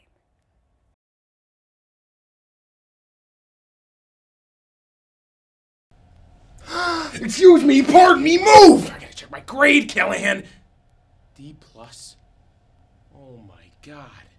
I passed! I'm gonna graduate! I gotta tell my dad! Richard Hayden? Why did my dad send a secretary to pick me up? Um, assistant, and he was at the airport this morning, but you weren't on the plane. And would you mind not eating in the car, please? It's kind of a rule. Oh, son of a chocolate all over my suit! Oh, I can actually hear you getting fatter. Shut up, Richard. Tommy Callahan is a childish, overweight bonehead with no sense of direction. Richard Hayden is a skinny, sarcastic little prick with no friends. When Tommy is forced to take on a sales job for his father's failing auto parts company, they embark on a crazy road trip together to save it in Tommy Boy, written by Terry and Bonnie Turner. Maybe instead of taking on a loan, you should take on a partner. No, this has and always will be a family firm. Someday my son will run it. Selling brake pads is an interesting idea, Mr. Callahan, but I'd like to take a look at your operation before my bank can give you a loan. Fair enough, Mr. Wilson. Course, I can get a hell of a good look at a T-bone steak by sticking my head up a bull's ass, but I'd rather take the butcher's word for it. Ha ha ha! Bull's ass. Good one, Dad. Tommy boy! ah! Boy, am I proud of you, Mr. Big Time College grad, huh? Oh, thanks, Dad. How's about we go home and I show you that surprise? Holy shnikes. Is she for me? No, son, she's for me. Tommy boy, this is my bride to be, Beverly. She's going to be your new stepmom. Oh, Tommy, aren't you a doll? My son Paul's coming in today for the wedding. You're getting married, and I'm getting a brother named Paul. Brother! Hello, I'm Paul. Tommy, I presume. Brothers don't shake hands. Brothers got a hug. Please don't. Come here. I can't believe I have a new brother. This is great. Yes, great. So, is there anything dangerous to do in this town? Oh, so you mean like treason? Did you eat a lot of paint chips as a kid? Why? Man, that wedding was awesome. Half the town's at your reception. You look great, Dad. You look good too, Tommy boy. Listen, this marriage thing. You know, ever since your mom died, it's something about being alone. Dad, it's cool, you know? I just want you to be happy. And I am, kid. You know, all these years in working for this company and the hours put in, it was all for you, Tommy boy. And when you're running this place someday, I know you'll make me proud. Dad? Dad? Dad! No! Someone call 911! dead. Ladies and gentlemen, Big Dom will be dearly missed. But as acting president of Callahan Auto, I must say that we're in big trouble, comrades! Ray Zalinsky wants to buy us out and we need options. Wilson, you're a banker. Your thoughts? Riley, if we sell now while our values are still high, we can still stand to make great money for our shareholders. That includes Tommy and, of course, the new Mrs. Callahan. Damn it, Wilson! I don't want to hear the word sell again. It seems vulgar to talk about money at a time like this. I hate to say this, but when Big Tom died, Callahan Auto may have died with him. You know, my dad cared about these brake pads, and so do I. What are you saying, boy? I'm going on my dad's sales trip to save this company. But Tommy, you don't know the first thing about brake pads. No, I don't know much about this stuff. But Richard does. Oh no. Yeah, Richard is my dad's right hand man. This is crazy. He knows more about brake pads than anyone in here. Time out. Bad idea. There's no way. Okay, Tommy, I'm here against my will, so the least you can do is pretend to work. Now it's sales time, remember? We don't take no. Crap from anyone. No. We don't take no prisoners. We don't take no for an answer. Right. No. Okie dokie. No. Sounds good. No. Thank you for your time. Maybe, but first I'd have to come by and take a look at your new operation. Uh, I'll tell you what, I can get a good look at a butcher's ass by sticking my head up there, but I'd rather take his word for it. oh, man, there's nothing on TV in this stupid hotel. Hey, Richard, it's him. America, if you need anything screwed or glued in that car of yours, come see old Ray Zalinsky. I make car parts for the American working man because that's who I am. And that's who I care about. I love you, Ray! I love you too! He seems nice. Wow, you're dumber than I thought. That nice guy wants to buy Callahan, and we haven't made one sale. If we don't sell half a million brake pads in the next 10 days, the factory goes under. Maybe if we didn't have to stop at every other exit for you to get drive through. Okay, that's it. It's go time. Me and you. Oh, I'm gonna wail on you, Porky. Come on, I'll give you a free shot. Duh! You can do better than that. Duh! If I wanted a kiss, I would have called your mother. Ah! That was a good one. I swear to God, you're worthless. Don't call me worthless. I'm trying, okay? I'm not my dad. That's right, you're not your dad. I learned everything I know from him. I didn't have a father, and, and he looked out for me, but you. He was your real dad, and you just took him for granted. Hey, I'm Big Tom's son. He'll fix everything, so I'm allowed to be a moron. You know, I care about stuff, Richard. I'm getting better at this sales thing. Okay, I'm not, but I could if you help me. Forget it. I have enough to do without having to change your diapers. Ah, my dear Beverly, this is working out far better than we planned. I thought it would take a year to plead Big Tom in a divorce settlement. Instead, he croaks and you own half the company. Now all we have to do is sell it to Zalinsky. The only thing keeping us poor is Tommy and his stupid sales trip. Don't worry, my beautiful, sexy wife. Oh, nobody will buy from that blimp. Oh, waitress, me and Richard will have the chicken wings, please. Kitchen's closed till dinner. Oh, bummer, you sure it's closed? Let me check. Yup, it's closed. What's your name?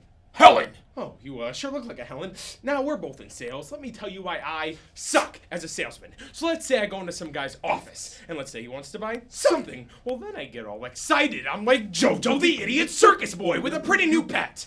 And my new pet is my possible sale. So I stroke it, and I pet it, and I love my little naughty pet. You're naughty! and then I take my naughty pet, and I. I killed my sale! And that's when people I guess, have to forge ahead. You know what I'm saying, Helen? God, you're sick. I'll tell you what, I'll go throw some wings in there for you. Thanks, Helen. Did that kick to the bells knock something loose? What? You just pulled a 180 with that waitress. Why can't you sell like that? I was just having fun. You got the wings because you had confidence, and that's what it takes to sell. Your dad had that. Yeah, but my dad was smart. I'm not. Very true. But there are two types of smarts book smarts, which waved bye bye to you long ago, and their street smarts the ability to read people. Maybe you're right, Richard. Yes. Okie dokie. Uh-huh. Sounds good. Sure thing. Thank you for your time. No, it's just a couple of sales, Paul. It's not the end of the world. I got it. Every factory needs trucks. We stop the trucks. We stop Tommy Boy. I think that last sale just put us over the mark. We saved the factory? We saved the factory. We're selling the factory. What? The trucks delivered wrong parts to wrong cities. There's gotta be something we can do. Half the orders have already been canceled. And now we have to sell to Zalinsky. Wait, Zalinsky! He's the answer! Richard, you and I go to Chicago. Tell Zalinsky we're not for sale. He seems like a nice enough guy on TV. He'll understand. Hell, if it doesn't work, we lose the factory anyway, right? Chicago? Chicago. Zalinsky's office. I can't believe we're doing this. Bring, bring. Hello? Tommy, I must speak with you. Riley? Okay, I was at the office and I saw your stepbrother and your stepmother and he was kissing her. So? With his dong. What? Turns out they're married. Con artist, I tell you. I sent you police report. They suckered my dad. Okay, I have a plan. Your future's right through this door. Come on, Tommy boy. I'm here to save the. Oh, son of a!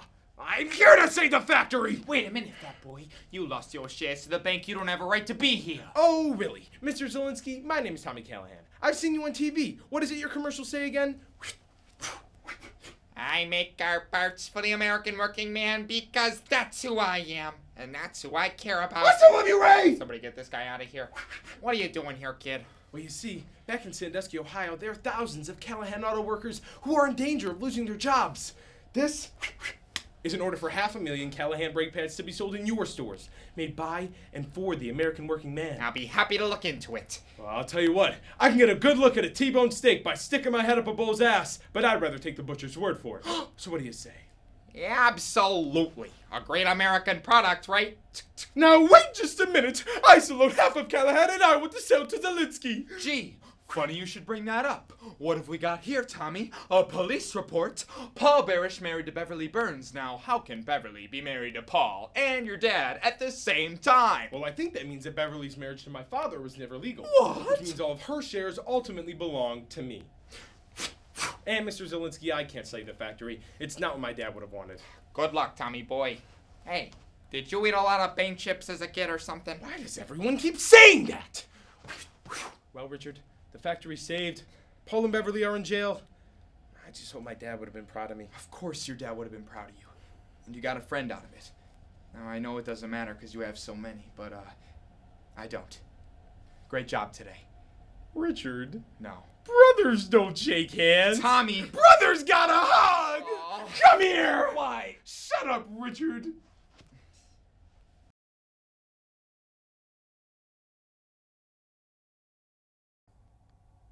Down here in Choctaw Country, most folks will tell you that Chukfi Rabbit is lazy. And then they'll say, Shoop, and watch your food when Chukfi Rabbit's around. Blink once and it'll all be gone, gone, gone. Shoop. Like this one time long ago, Miss Shukata Possum needed a new home. Several of her friends agreed on an everybody worked together day to build her one all except for Chukfi Rabbit. Chukfi, would you like to come help me build a house? Uh, listen to who's coming. Need a bear, Chula Fox, Loksi Turtle, and Kinta Beaver. They'll all be there. Oh, uh, I'm sorry, Miss Possum, but I'm much, much too busy that day. But, but I didn't even say which day. Oh, uh, which day? Tomorrow. Uh, yeah, much, much too busy tomorrow. Oh, that's too bad because I'm preparing my delicious homemade butter for everyone who comes. Oh, uh, butter? Uh, oh, wait, uh, I just remembered. Uh, it's the next day that I'm much too busy. Tomorrow I can most certainly be there. Well, that's just how Chukfi Rabbit is. Sometimes people, well, in this case, animals, think it's okay to just accept the reward without doing all the hard work. Well, in this Native American folktale, Chukfi, a sly rabbit, tries to get away with all of his actions by pinning it on the other animals. Will the others realize that Chukfi was in fact lying? Or will Chukfi's mischievous plan succeed? Find out in Chukfi Rabbit's Big Bad Bellyache, written by Greg Rodgers. Early the next morning, everyone showed up to Miss Possum's place. She had prepared delicious cornbread biscuits, oh, grape dumplings, tanchi labona, which is a Choctaw kind of corn stew. Oh, and best of all, lots and oh, lots of homemade butter. It was creamy and delicious, oh, and hard to make. A real treat.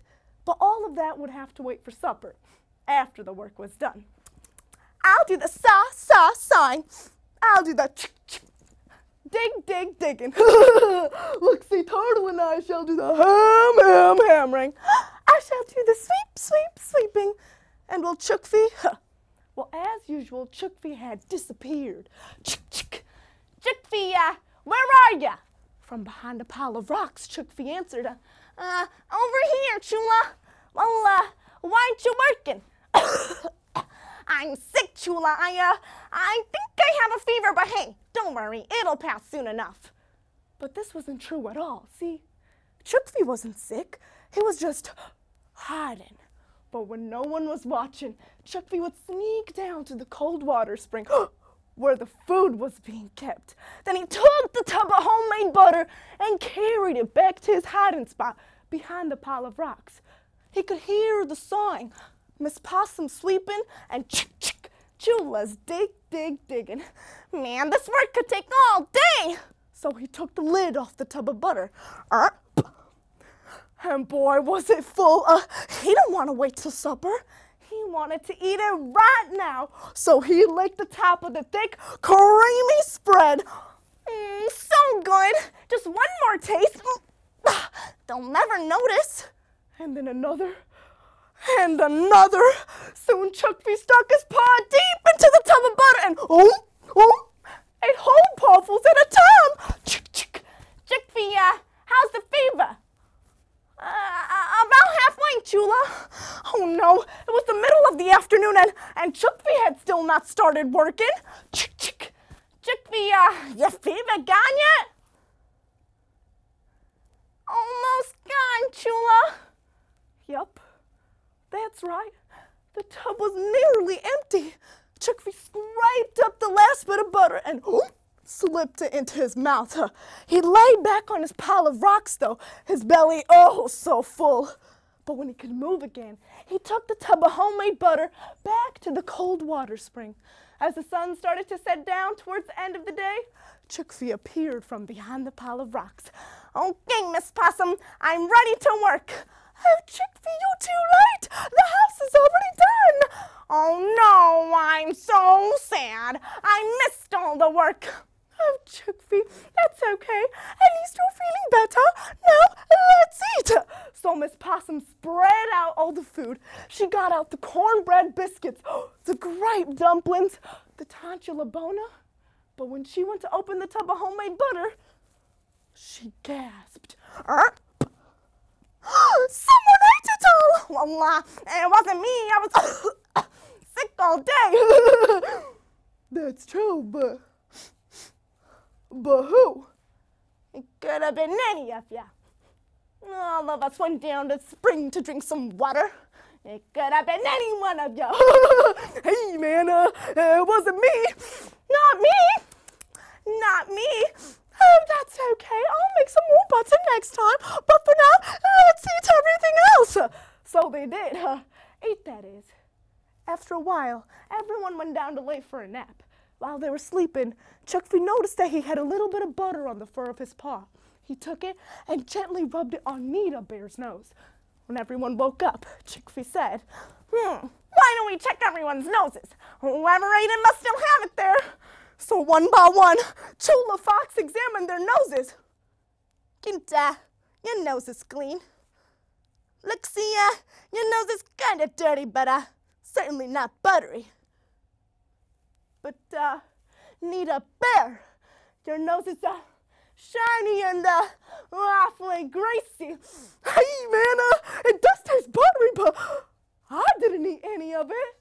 Poor Nita. No one believed her. Oh, and they were mad. They pointed their fingers, paws, and claws at her. you ate all my butter. Chukfi had such a hard time not laughing at this. to him, this was so funny. But then his tall tail belly began to shake and tremble. Before he could get his paw to cover his mouth, he let out a great big burp. Excuse me? But it was too late. Everyone had already smelled Chukfi's big, bad, buttery breath. it was you, no need to bear. You ate all my butter. Let's get him. Chukfi tried to hop away, but his belly was too heavy. He tripped over his own floppy feet. Whoa! And rolled straight into the river. Chukfi might have escaped this time. And maybe, just maybe, he learned his lesson. But that's okay though because Miss Possum did get a nice house and uh, everyone was real happy about that. As helping others is always more joyful than even the best butter ever.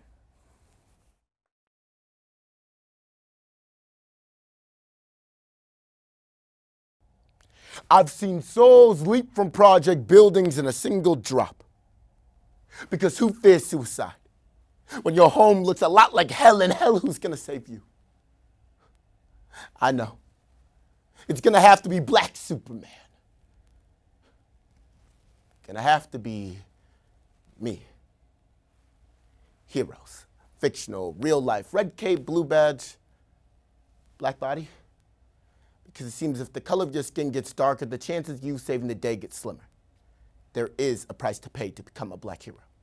So this is a public piece for all the black boys and black girls who never got their comic book ending. Black Super Power, a poetry program. Ooh, ooh, me, pick me, pick me, pick me.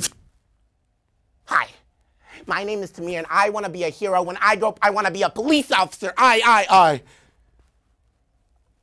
I got my first kill today.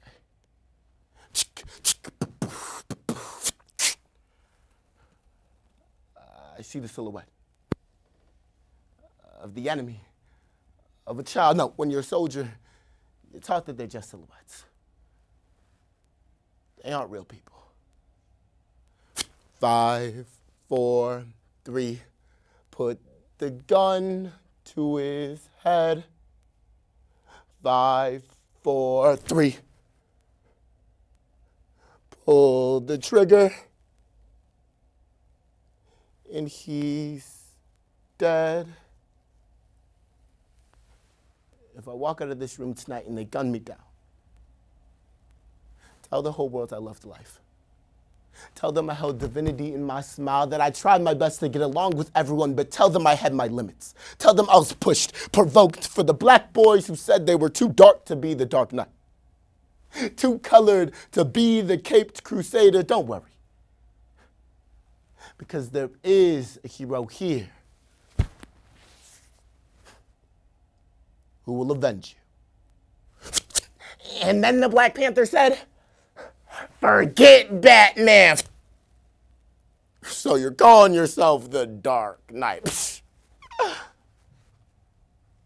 really, bruh? Batman, you're what I'd be if I had like no powers. You let the whole world know that anyone can be a hero as long as you're born rich. It seems like privilege is the only thing super about you. Wait, Wait, let me guess. You have hot sauce in your utility belt. You want to be me so bad. He, he knows the bad guy has a big gun, but he, he has a big heart. I want to be a hero. When I grow up, I want to be a teenage mutant ninja turtle. Wait, no, forget that. When I grow up, I want to be the first black teenage mutant ninja turtle. I mean, it's obvious they are already black. They say stuff like cowabunga and dude. But you, you don't have to worry about dying. I've tried to help the world when they were in their lowest lane, but every time they end my time, I. I had a dream once. I left it splattered on the balcony. Because whenever there's a black hero, the outcome is Malcolm X marks the spot where you get shot if they gun me down tonight. Tell them I was many things, and if they have to judge, then they have to understand life in a still shot. Tell them why I had my hands up in a still shot. Tell them I wasn't going out without a fight. Tell them I was a soldier, but I've been taught that there's no room for regret in the eyes of a soldier, so I've learned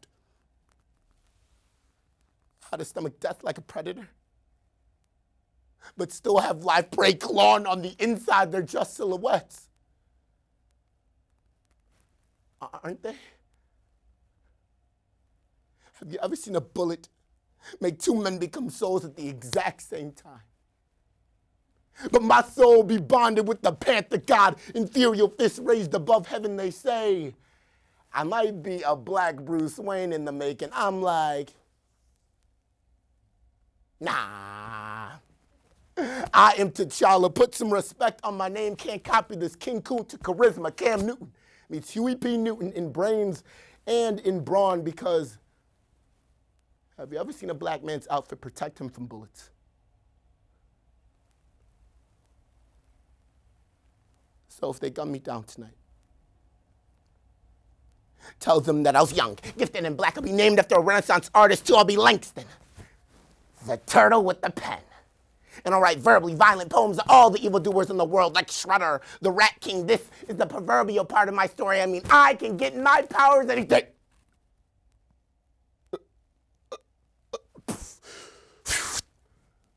On November 22nd, 2014, a young black boy named Tamir Rice was shot down by Officer Timothy Loehmann. No. No. Five, four, three, no. Put the gun to his head. No. No. Five, no. Four, three.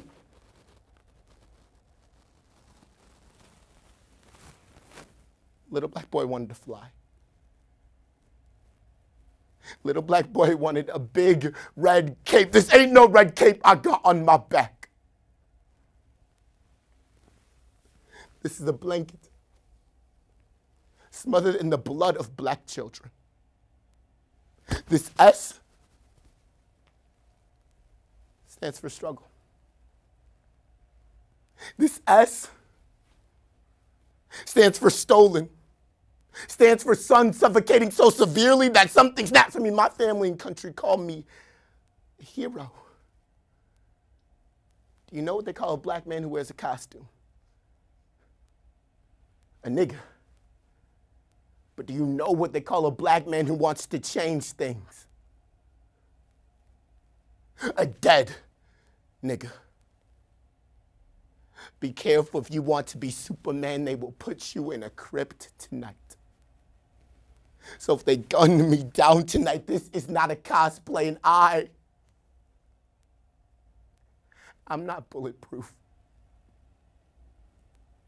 It's not about the color of your skin, but the content in your character. So why can't you look like me and save the day? But this, this is how our heroes are made. We tell them this is what we do. It is the duty of a soldier to serve and protect everyone in his country except black people. I mean, silhouettes. I can't protect all of my people. Hell, I don't even know if I can protect myself. When they make a movie about me, there will be no whitewashing of black characters. My people have been drowning for far too long. There will be no mispronouncing of my name. I am T'Challa. It deserves to be learned just as much as my story.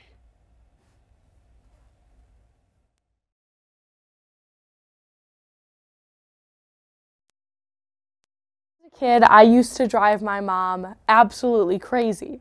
Wherever we were going, I would want to know who was going to be there, what time we were leaving, what shoes I should wear, and it would make her insane. See, I always wanted to know everything. And what I learned throughout my life is that we can't always know everything, but sometimes the process of understanding is what's even more important. This is what is said in today's quotation by James Thurber when he points out, It is better to know some of the questions than all of the answers. What is being said in today's quotation is that satiety, is not always guaranteed with curiosity, but sometimes the process of reaching understanding is more fulfilling than the understanding itself. Now, we can see this initially demonstrated by looking at the philosophy behind the religion of Buddhism. After this, we look at the failings of Common Core in understanding this. And finally, when we take a look at character Hermione Granger from the Harry Potter series. Now, first, let's understand the philosophy behind Buddhism to really see how this philosophy of the importance of the process plays out. Buddhism is a religion that dates back thousands of years and focuses on not worrying so much about the end result, but instead enjoying the process. Buddhism focuses on reincarnation and the process of enlightenment. But what they understand is that if you're so focused on the end goal of reaching enlightenment, then you'll never ever truly reach it because you'll never be fulfilled. Oftentimes, what we learn on our path to enlightenment is what fulfills us. It's what makes us better people, and it's what allows us to reach enlightenment. Similar to the way that James Thurber is describing how we can't always know all the answers. We can't always reach that end goal. But sometimes the process and the understanding and asking questions along the way is more fulfilling than the end result. When we are able to instead revel in the process and revel in everything that we gain from it, this is when we are able to achieve understanding in the end. Now, although this philosophy is understood by many, many still face challenges in it, especially in our education system.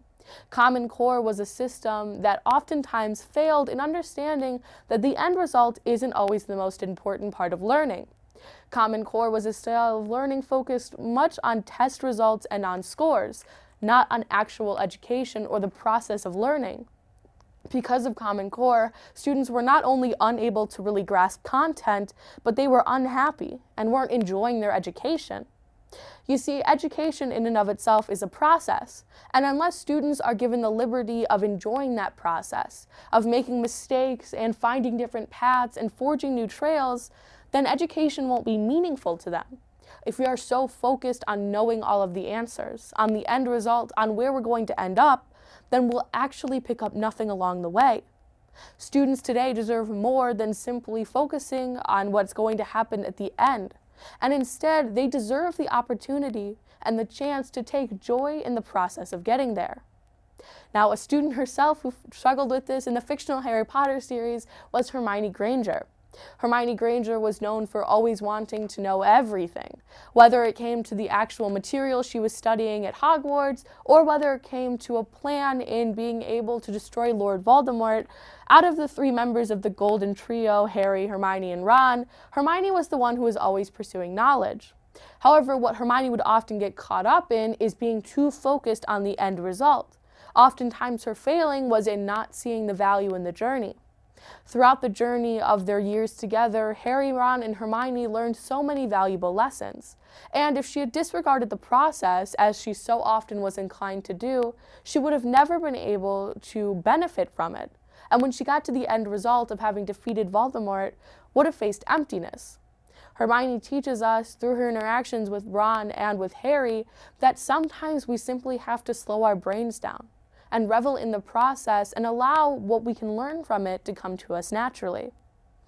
So, in the end, when we take a final look at today's quotation by James Thurber, it is better to know some of the questions than all of the answers. We can see as initially demonstrated through the philosophy of Buddhism.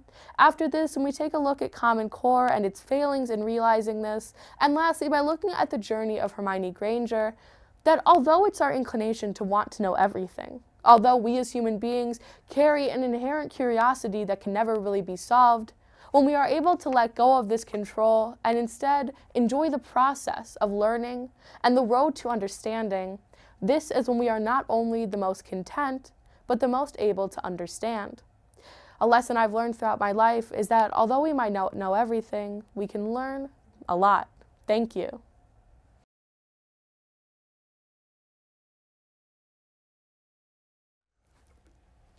My baby brother was born this morning. I know this because my dad woke me up in the middle of the night. He, he took me to my grandma's house and he told me I was going to be a big sister soon. So I told him, I don't want to be a big sister. but apparently, I don't get a vote. Having a sibling can be tough especially when your older sister gets the bigger room, the brand new DS, or refuses to give you the last ticket to the Jonas Brothers concert, even though none of her other friends gonna go. anyway, having a sibling is hard. However, through the kicking, screaming, bickering, and fighting, in the end, it's truly worth it. Follow along as one little girl learns how to deal with her new addition to her family as she and her hamster, Leonard, try to figure out if babies ruin everything by Matthew Swanson. At Grandma's house, the TV is really small, and the milk ah, taste weird. But my favorite part? Sorry, Grandma. I guess you're not allowed to make yarn forts in the living room. Well, while Mom and Dad and the baby have a party at the hospital, I'm forced to stay at Grandma's and play checkers and eat cold oatmeal. Goldilocks would not approve. But when Dad finally picks me up, he does not say hi to my hamster, Leonard. Instead, he tells me about 300 things I do not want to know. Mm. Hey, sport, you know, the baby's head, it's huge! And it's really funny because he barely weighs anything. And hey, hey, listen, listen to this. when he wrinkles his nose, I just die. And mom tells me I have to be nice to the baby. But it's very, very hard because the baby, he can't do one single useful thing. Like he can't stand on one foot, he can't catch a frisbee, and he can't even whistle. Even Big Head Betty Hogarth can whistle, and he already lost his front teeth. Well, Mom and Dad decide to have a real party for the baby with balloons and streamers and pointy hats. Ow! But the baby doesn't say thank you for the party. And the baby doesn't open his presents or eat his cake. So clearly there's something wrong with the baby.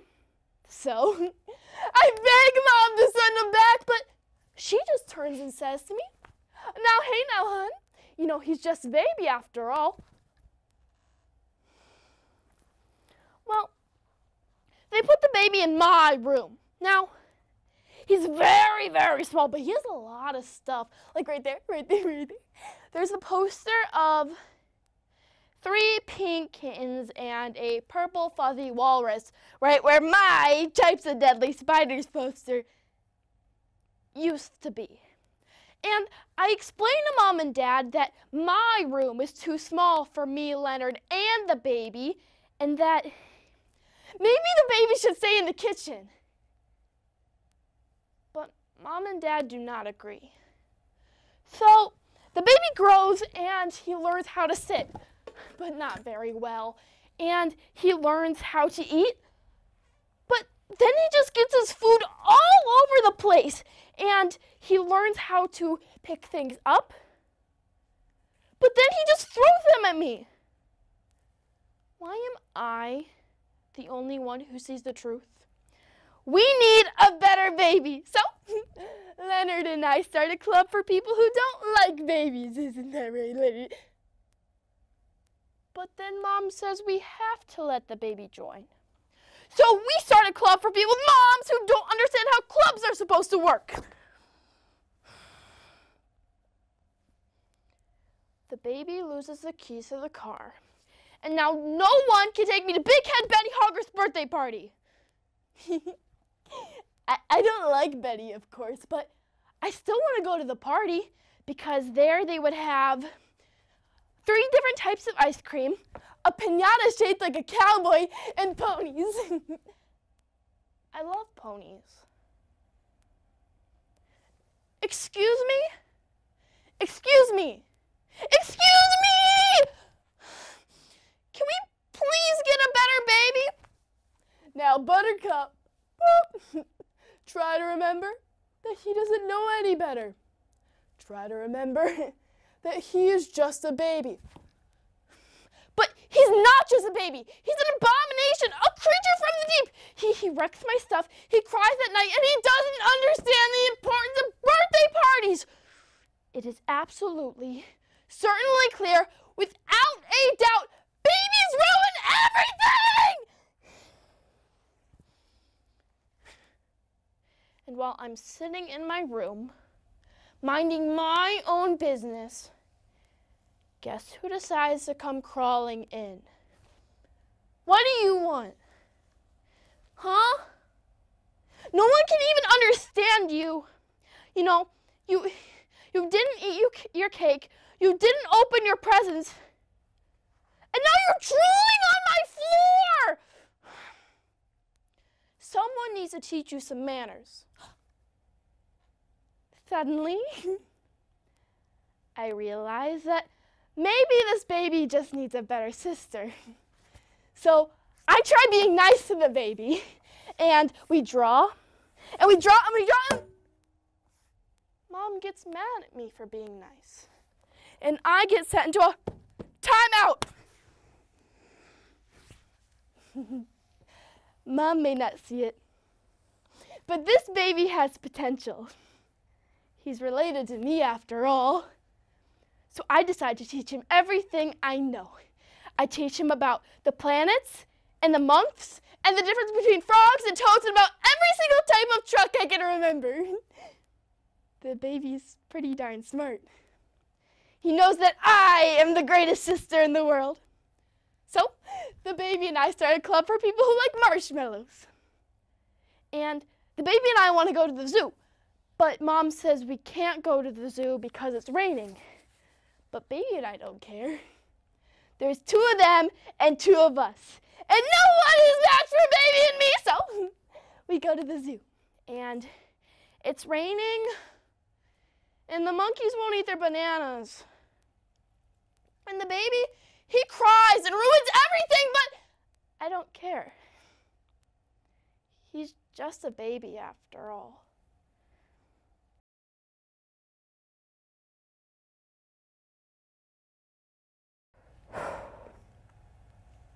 I recently attended the funeral for a fellow member of my congregation. He was 20 years old and living at, in New York at the time, but regularly made trips home to us. However, the circumstances surrounding his death were very suspicious, and when an autopsy was done, it was found that he overdosed on heroin.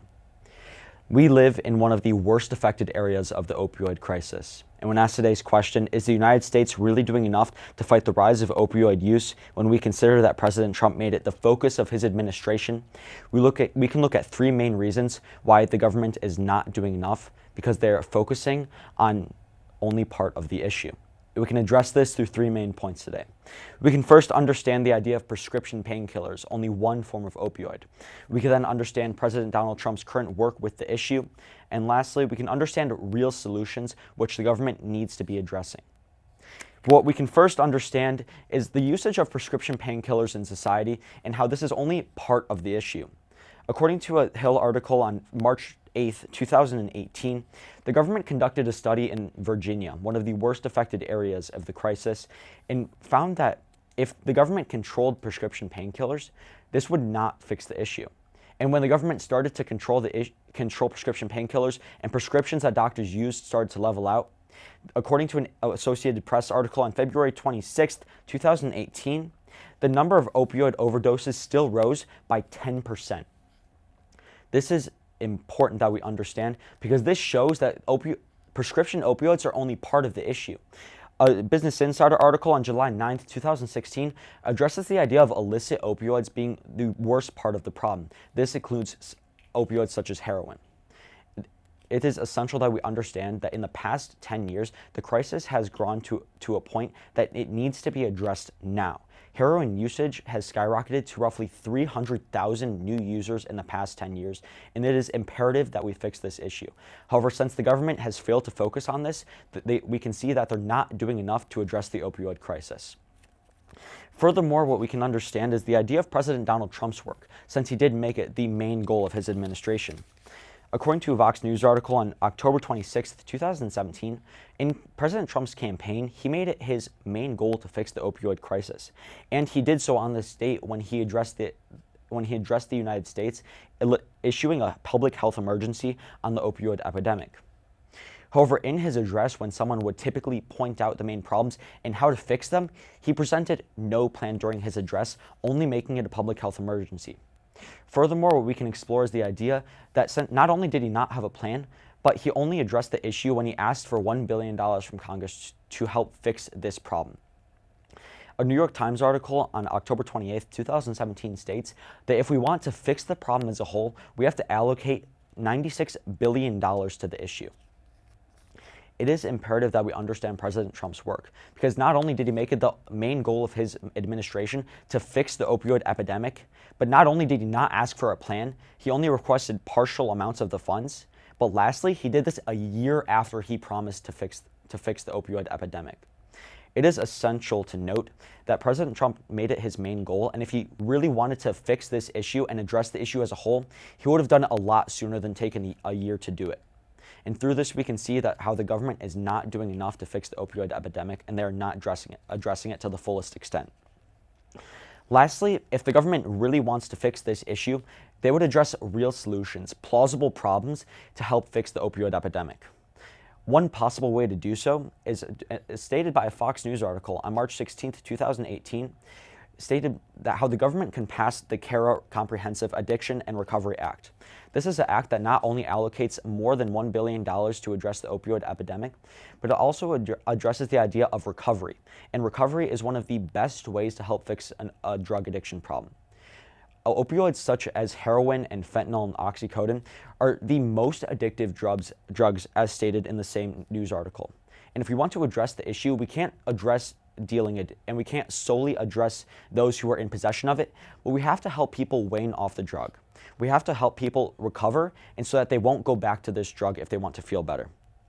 In addition, a Forbes News article on March 15, 2018 states that lawmakers also need to look out for not only the recovery of the drug, but the treatment of those currently using the drug. We have to present plausible ideas for those to help wane them off the drug and make sure they don't go back to it. This act this act addresses this issue and not only allocates funds, but sets forth plans to not only institute recovery institutions, but also institute whether it be healthcare or therapists that would help wane people off the drugs in a much better and comprehensive way.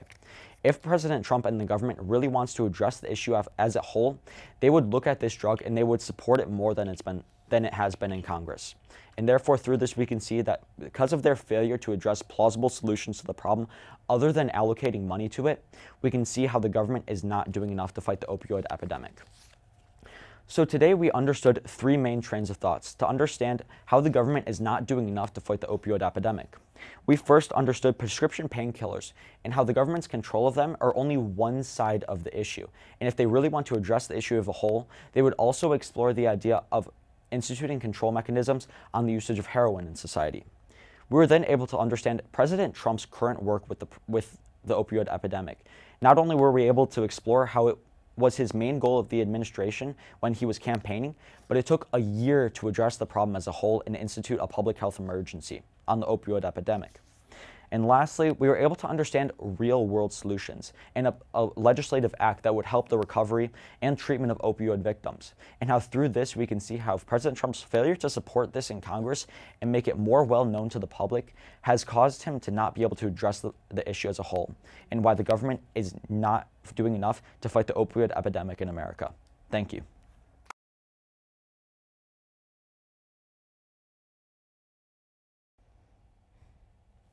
We are the window cleaners. We will polish your glass till it's shining like brass and it sparkles like sun on the sea. We are quick and polite. We will come day or night. The giraffe and the pelly and me. The ladderless window cleaning company is in trouble. The pelican needs fish, the monkey needs nuts, and the giraffe can only eat the pink and purple flowers of the tinkle tinkle trees. Billy comes along to help and learns the value of friendship and the power of dreaming in The Giraffe and the Pelly and Me by Roald Dahl. There's this old wooden house that stands all by itself on the side of the road. And my mom told me it used to be a sweet shop. I've always longed and longed to own a sweet shop. One day when I was walking past, I noticed a new sign that had been tacked on the door. The Ladderless Window Cleaning Company. Hmm. Get your windows cleaned without any dirty ladders leaning against your house. Hello, boy! Hello, Mr. Uh, Pelican. Who's your friend in the next window? She's the giraffe! Isn't she lovely? How do you do? What's your name? Uh, Billy. And as if all of that wasn't enough, another window popped open and out jumped a monkey. Whoa. Just then, a huge white Rolls Royce pulled up, er, and a chauffeur in a uniform stepped out. His Grace the Duke of Hampshire has instructed me to deliver this envelope to the Ladderless Window Cleaning Company. Dear sirs, I saw your notice as I drove by this morning. My home has 677 windows in it, and all of them are filthy. Kindly come and see me as soon as possible. Yours truly, the Duke of Hampshire. Billy, how do we get to this house? It's just over the hill. I'll show you the way.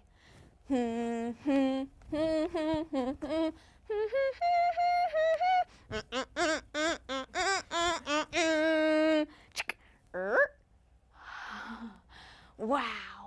Just look at all those windows. They'll keep us going forever. Great Scott! Who are you? Sir Duke, we are the window cleaners. Then who are you? He's our friend Billy. We go nowhere without him. Very well. Then come along with me and let's see if you're really any good at cleaning windows. It's all very simple, Your Grace. I am the ladder, the pelly is the bucket, and the monkey is the cleaner. Watch us go. And with that, the great window cleaning gang sprang into action. The monkey jumped down from the giraffe's back and er, turned on the garden tap. The pelican held his great beak open under the tap until it was full of water. Then, with giant springing leaps, the monkey began to climb up the long neck of the giraffe until at last he stood balanced on the very top of her head. Then, the most amazing thing happened. The giraffe's neck began to grow longer and longer and longer until at last her head was level with the windows of the top floor. How was that? Amazing, remarkable. But just then, all of the window cleaners stopped dead in their tracks. Sir Duke, there's a man in one of the bedrooms on the third floor. He's uh he's opening all the drawers and taking things out. He's got a pistol. By God, that's one of the Duchess's bedrooms. He must be after her jewels. Call the police. But even as he said that, the pelican was flying up into the air. What's that crazy bird up to? The pelican flew in through the open window.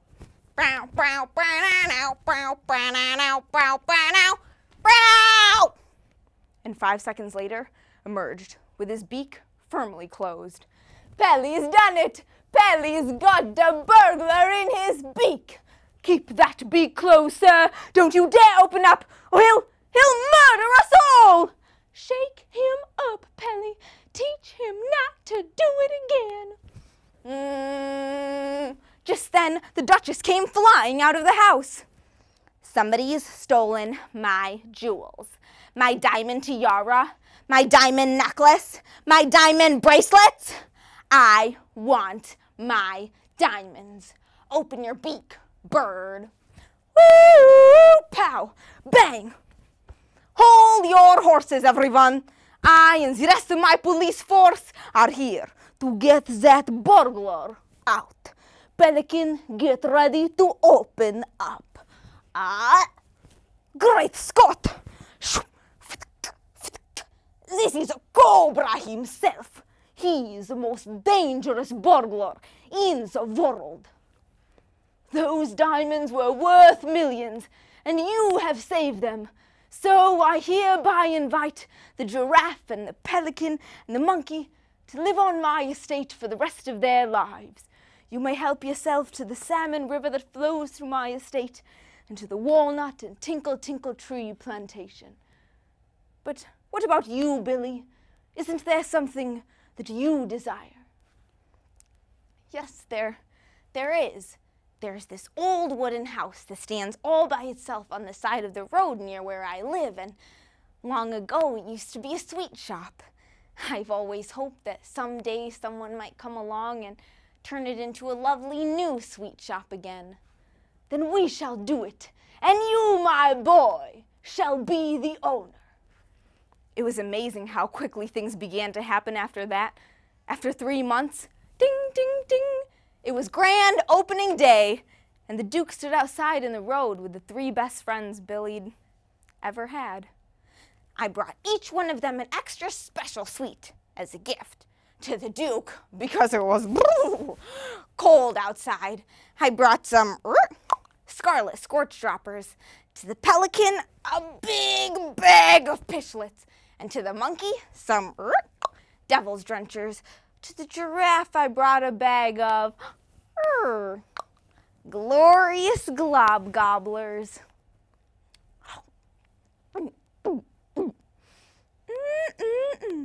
Delicious.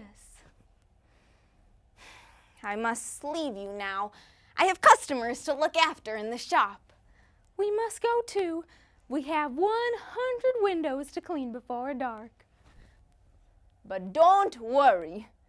No story ever ends when it's just you and your friends. The giraffe and the Pelly and me.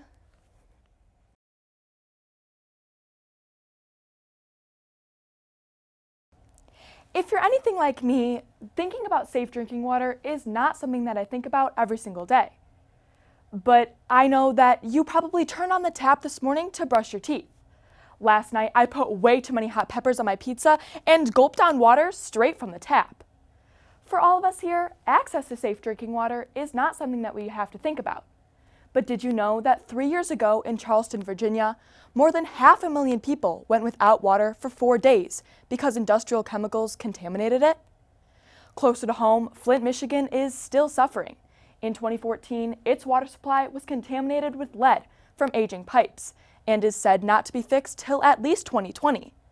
This got me thinking about safe drinking water what makes it clean, and how safe is our supply to contamination. Today, we will refresh ourselves as to how the water cycle works, ripple through how water becomes safe to drink, and identify the issues that threaten to swallow up our safe water supply. So is thinking about safe water a waste of time? I mean, are the incidents in Flint and Charleston isolated ones? The World Health Organization tells us they are not. Nearly half of the world's population, 4.5 billion people live within 30 miles of an impaired water resource. The New York Times reported in May of 2017 that there was a 1 in 4 chance that our supply is contaminated. The Natural Resources Defense Council reported that nearly 77 million Americans live where their water supply is in a violation of safety regulations. To understand where we get water in the first place, let's quickly backstroke into our elementary school years and review the water cycle. Evaporation starts the cycle. The sun heats water from lakes, oceans, and rivers, and the water evaporates back into the air, turning it into vapor. This is evaporation. As this vapor rises, it cools, turning back into liquid, forming clouds. This is called condensation. When the clouds become too big and heavy for the air to hold them, they fall back to the ground as rain, sleet, or snow. This precipitation is collected in riverbanks, oceans, and lakes, and mankind figures out a way to collect it and use it. But safe drinking water does not just come from nature and our faucets. It must be treated before it is safe to drink or use. The treatment plan can be simplified into these five basic steps. The first step is coagulation.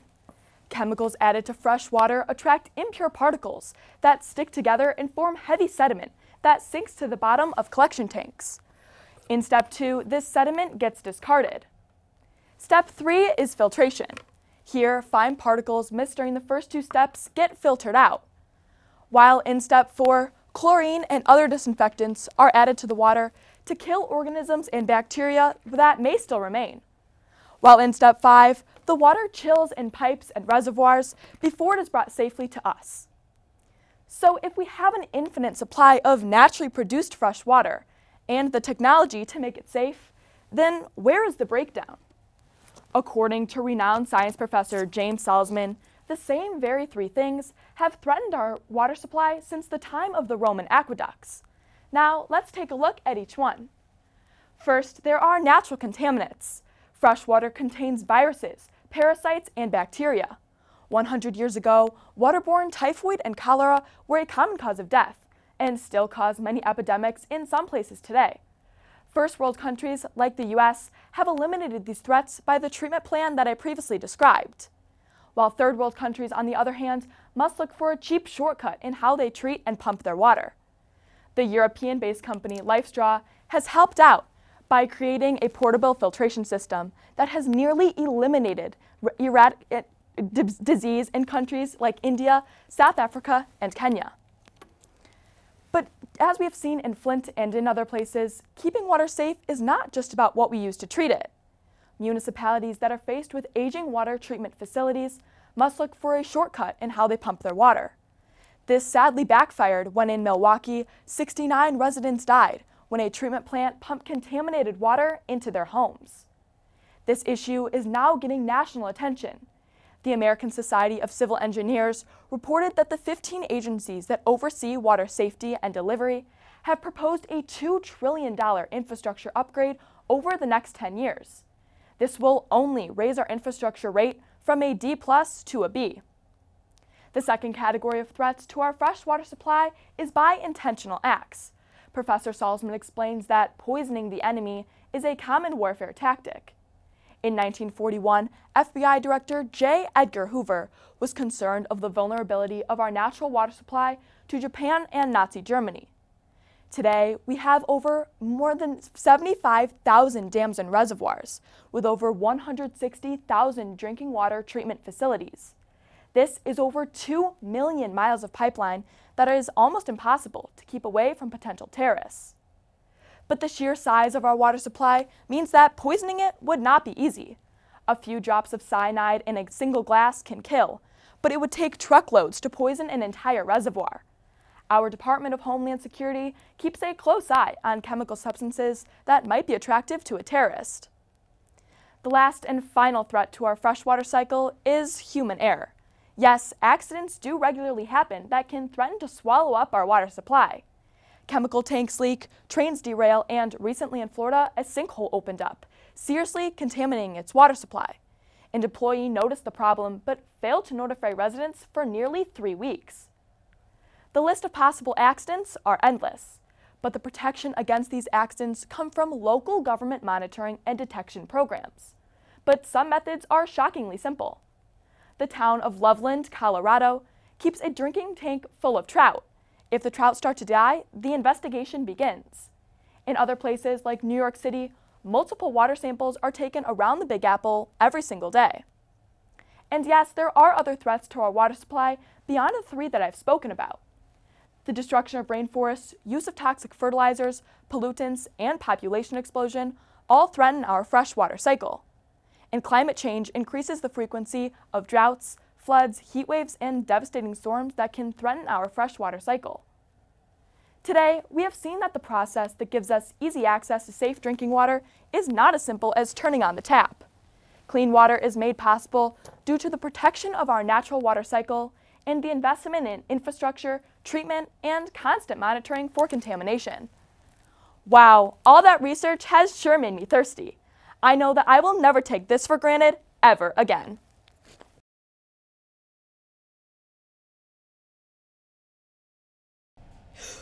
I just wanna have a good time. Can I have fun for the rest of my life? Just go where the wind blows. I'm an artist, and I won't change a word in my play for some Broadway audience. I'm not arguing with you. Your play's great. But David, it's too heavy. Uh, maybe if you got a big time investor interested. Ellen, you're my girlfriend and I love you, but you know nothing about this business. I've been through this twice before. Two powerful scripts. I know, I know, you're an artist. But it's the real world out there, and it's a lot rougher than you might think. Here he comes, yeah, he caught my eye. Yeah, I love the moonlight. Just go where the wind blows. Look at her up there. I mean, she's just got everything stars are made of. Yeah, She's great. Don't you think she'll be a star, Cheech? Not a doubt in my mind, Mr. V. I just wanna have a good time. Can I have fun for the rest of my life? Just go where the wind blows. Bullets over Broadway by Woody Allen and Douglas McGrath. I am fed up. I'm fed up. Do you hear me? I am not sharing a dressing room. None of these bimbos knows how to dance. Olive, come on, it's our anniversary. It's not our anniversary. It's September 28th. Six months. I remember it like it was yesterday because that's the one we broke Joey Benjamin's leg. Six months? And I'm still stuck in this crummy rat trap? I came to New York to be an actress. Be a great actress. Now come on, get yourself dressed. I got some exciting news for you. I have a surprise for you. Not now, Ellen. I've got a lot to do. Oh, David, you've been working on your play for years now. Let's get out of here. Go back to Pittsburgh, Not get this married, again. have Ellen, kids. if you're gonna come in here and try to Look, I may have found someone to fund your show, but you're not gonna let What? How? Nick Valenti, but he says his girlfriend has to have a part. You really don't understand my work, do you? Nick Valenti. How do I know that name?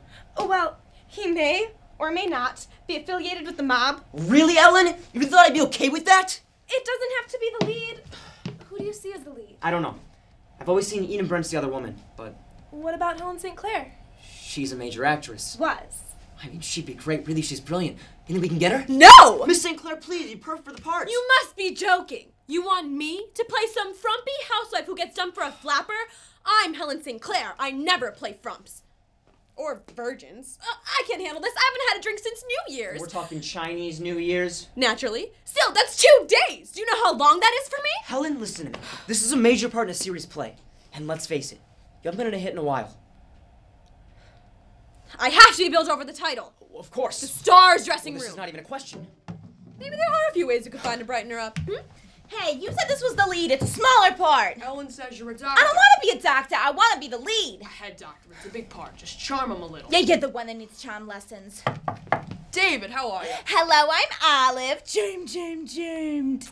I read your play. It's Thrilling Turbulence, a page turner. Great. So, what have you been in, Miss, uh. Olive. Olive. Call me Olive, honey. Well, she ain't got experience except she used to wiggle at this joint. She'd pick up quarters off the tabletops with her. Hey! Butt out, why don't you? He drinks. So, you've never acted before? Oh, yes, yes, I've acted. I've acted a lot. Actually, I was in a musical review. I had two thrilling, show-stopping numbers. You tell Masucci he don't play ball or I'll chop his legs off. Is this a bad time? I feel like this is a bad time. Oh, don't pay any attention to Nick. I told him to go make some horse d'oeuvres. What? Well, horse d'oeuvres. You know, like cheese and crackers. No, no, and- I know what hors d'oeuvres are. I'll cut his throat. I'll come down there and pull his guts out through his windpipe. You hear me? So, do you like the play? It's sad. well, it's a tragedy. You burn it down, Cheech. Make it look like arson. Uh, sorry you guys had to hear that. Some problems with the firm. I'm feeling a bit unstable. I think I might go check myself into a sanitarium and get the help I need. And we'll talk later because it's been good. Well, this is gonna be a big event on Broadway. Absolutely not. No. You know she never acted before. You know that, right?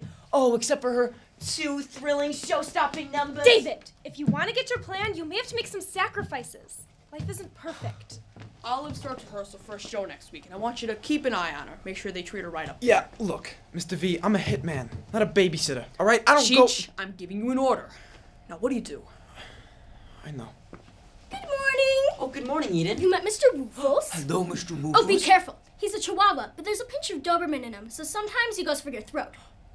Just kidding! No, my darling, do you want some milk or something to eat? I'll grab a saucer. Oh, you don't have to bother with that because I breastfeed him. Just kidding! I sit here, yes? And in some way, you're trying to relive it as if it were possible. Ha!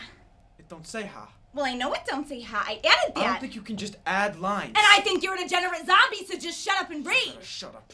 Just shut up! You shut up! You're lucky you're Nick's girl! And you're lucky you're an idiot! Eden, this is Dr. Phillips. Olive Neal, nice to meet ya. Eden Brent. And you are? I'm with her. All right, Buster, why don't you park yourself in the back of the theater and try not to snore? I don't like other people watching rehearsals generally as a rule because the actors are very sensitive. What'd you say? Yeah, I'm not sensitive. Hey, hey, who are you? I'm the director of the play, and you are? Cheech. Name's Cheech. Mr. Cheech. No, not all- Mr. Cheech. Simple. Cheech. Cheech. Now you got it. Sorry I'm late. I'm usually punctual. My manicurist had a stroke. How unprofessional. Oh, my poor darling. Was that a mutt? Yes, he is. I hate mutts. Oh, she didn't mean that. Okay, let's start the read through at scene one. Doctor, am I unattractive? Worn out? Come, come, Miss Paston. You're being mass. Mass. Masochistic. Masochistic? yes, masochism is someone who enjoys pain. Enjoys pain? Well, what is she, a moron? David, can I talk to you for a minute? Yeah, everybody take five. Who is she? I'm sorry about Olive. We need her to raise the money. It's the sad reality of the marketplace, I'll tell you. I can tell how brilliant you're going to be in this role. Your instincts as an actress are impeccable. You see right through me, don't you? What insight into women. Don't deny it. I mean, I just don't see why she has to be so frigid. David, I just met your girlfriend. She's a delight. Just thought I'd stop by and see if you needed anything. I'm good, but while you're here, you might as well meet the cast. Olive James, James. and Ellen. This is Helen. Helen, Ellen. Hope you don't get us confused. Mm-hmm. David, I don't I just had a few questions concerning some of the dialogue. I just don't think an audience would believe that he'd leave me for that other woman. Uh, excuse me, but I think it's made very clear in the speech about erotic attraction. You fool! He's thinking of me when he does that speech. Don't you know anything? Just the part about the liver spots. Listen, when was the last time you slept next to anything that wasn't your dog? Ladies! Edie, can you pull yourself together? Yeah. Okay, Olive, you start. The heart obeys its own rules. Ha! David, I don't understand the character here. Suddenly she's too eyes. Yeah, she shouldn't leave the guy. Then when the lieutenant has that fight with his wife, he should notice her. That way it won't be boring. I think it's a good idea. You're kidding. Personally, I like it. We lose that scene and a lot of good possibilities open Yeah, up. it's a hell of a lot better than what you got. I actually like it. You're taking a side? It's not a matter of taking sides. Well, I can't make those changes. Well, why not? That rat on a leash, Brooks. One more time. Sounds melancholy. Is he melancholy? I'm done! Don't be so egotistical. Egotistical. Why? Because I'm going to protect my play? Protected against what? A good idea? Oh, thank you for the support. Look Who's here? Oh, God. Get my rifle. I guess I'm just hypersensitive because maybe deep down I agree with the goon.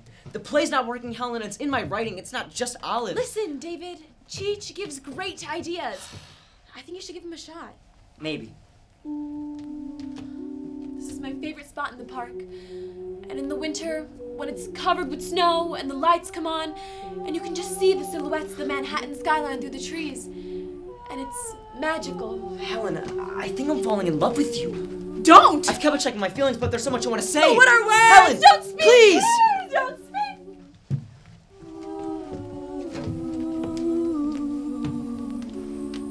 speak! So, what do you guys think of the change to the script? These are brilliant. The whole thing is motivated. You mean I gotta memorize all new lines? How did you come up with such divine changes? Well, they're not really mine. Oh no, whose are they? God's?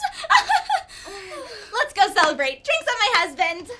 You missed the idea. What? Here, come here, let me show you. You rewrote it? Yeah. They taught me how to write in school before I burned it down. Look, I know how people talk, alright? You ever think about doing anything else? Like what? Like writing. You have a huge Listen gift. to me. Your play was very good. You just didn't use your head. So Olive actually told me you took out a few guys. Is that true? Yeah, I took care of a few guys. How does it feel when you actually kill a man? Feels okay. Even the first time? First time? First time was a punk in prison. He squealed on me and I stuck an ice pick in his back. An ice pick? Ice pick, yeah. I had to do it over and over 40 times! Forget about it. It was a mess. Even better than I was the last time, baby. Ooh, I'm good. Hey, David, how was I? Wonderful. You finished your whole speech this time. Yeah, I did, didn't I? Oh, a hundred orchids. Oh, they're beautiful. I don't know about you, but Mr. Woofle said it was a hoot. Olive was good. She still needs some work, but It's her. That's what it is. It's Olive. I can't have her ruining my show. Your show? Our show. I put a lot into this. I can't fire her. You know this. Don't yell at me. You're being very temperamental. Olive, you were swell in the show tonight. Oh, well, thank you. What a marvelous audience. Excuse me, Mr. Valenti. Darling, could you give me that cue a little quicker in Act Two? You know the one where your character is quoting Hamlet? Oh, well, you know it's hard because I always forget the second part. I know it's or not to be. Okay? To be! Or not to be. Yep, that's the way it goes. I can't tell you how many times I've seen it. A show trying to find its own life, and then, somewhere along the lines, a work of art is born. Here's to your future. Cheers. Helen, when Ellen gets home, I'm going to tell her about this. Oh, David! No, I've decided. I'm in love with you, Helen, and it's time for me to act on it. Oh, everything is moving so fast! Oh, David, it's so fast! Helen, I love Don't you. Speak, Please. Don't speak! Imagine the director telling me I'm overacting in the first scene. And you know what I'm doing, Cheech? Is I'm working on a superior laugh. Like, ha ha ha, he he he. And he says no! Well, Cheech, what are we doing Yeah, here? we gotta go pick up Nick.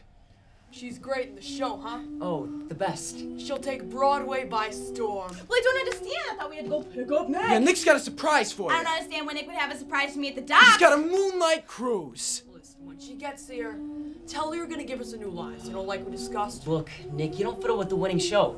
No, the script's basically frozen. Just walk over there. Go on. He's over there. Nicky? Let's avoid confusion. Sure. She'll get some new lines, or I'll nail your kneecaps to the dance floor. Hey, Olive!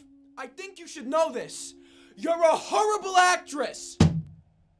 Thank God I don't have to hear that voice anymore. I don't believe this. If Olive, if Olive doesn't show in time, I'm putting the understudy on. Well, who knows? Maybe she got stage fright. Not Olive. That dame doesn't have a nerve in her body. I don't think her spinal cord touches her brain. And where's Cheech? You know where she is. David, did you hear about Olive? Oh, what now? They, they killed her. What? Out in the docks, a gangland hit. David, I need to talk to you. How could you? How could There you? was no way to fire her. I'm an artist too. Not great like you, but first I'm a human being. A decent, moral human being. What are you doing with Helen Sinclair then? What's that got to do with this? You know, before you start scolding me about how to live my life, maybe you should take a step back. Look at your own. Cheech. Oh, Mr. V, what are you doing here? Olive would have been a star, don't you think? It's all right. We'll take care of those Custerbeck guys. You know, Marty Bannister said he saw you pick up Olive the night she got it, Cheech. Didn't you tell me you didn't see her? Me? Yeah, I said I did. I, I picked her up and I dropped her off a few blocks from the theater. Why? There was no preview that night. No rehearsal. Really? How come you left her alone, Cheech? I'm gonna level with you. All right, I had a crap game. I didn't want to miss Cheech! it. Listen, I'm gonna find out who hit her. All right? So on Sunday we're gonna have dinner with Rebecca. We're gonna go downtown. I've fallen in love with Helen Sinclair. I want you to know that I didn't mean for this to happen. It just did. I'm not surprised. She is extraordinary. Well, so are you. It's me that's all screwed up. David, I just want to know. What did I do wrong? Oh, Ellen, it's not. Why, after everything I've put up with? Every complaint, every mishap, all of it! What the hell did I do to deserve this? Ellen, I. I've tried, David. I know. I've tried so hard. I know. I'll be gone in the morning. Ellen, please! Oh, David, they loved it. They absolutely loved it. Oh, darling, you look pale. Not to worry, some of this time will belong to you. You were terrific tonight. They're your words. I'm just a vessel. You fill me. It was great, huh? What do you want? I have a couple notes if you, You want me to. killed Olive, Cheech. For that, I can never forgive you. Hey, Cheech! You're done. Cheech! Oh my god! I'm sorry, Cheech! What are you sorry for? David, you gotta learn to be happy with the life you've created for yourself. You got a good thing going with Ellen. Don't throw it away for some Hollywood ditz. Why would she ever take me back? David, you love her. She loves you. She'll take you back. Cheech! No, I- don't speak. Don't speak. So I can stay with you for the next couple of days? Thank you. Ellen! I was just Ellen, please! Congratulations on your hit, David. I always knew you had it in you. Ellen, I'm finished with it. Living in the garrets and eating cheese and drinking wine, it's not important. You are. I love you. You were right, let's go back to Pittsburgh, have kids, get married. What happened to being an artist? There's two things of which I'm certain. One is that I love you. Two is that I'm not an artist. So you're just gonna drop everything? Abandon your play? For you, it's worth it. Will you marry me?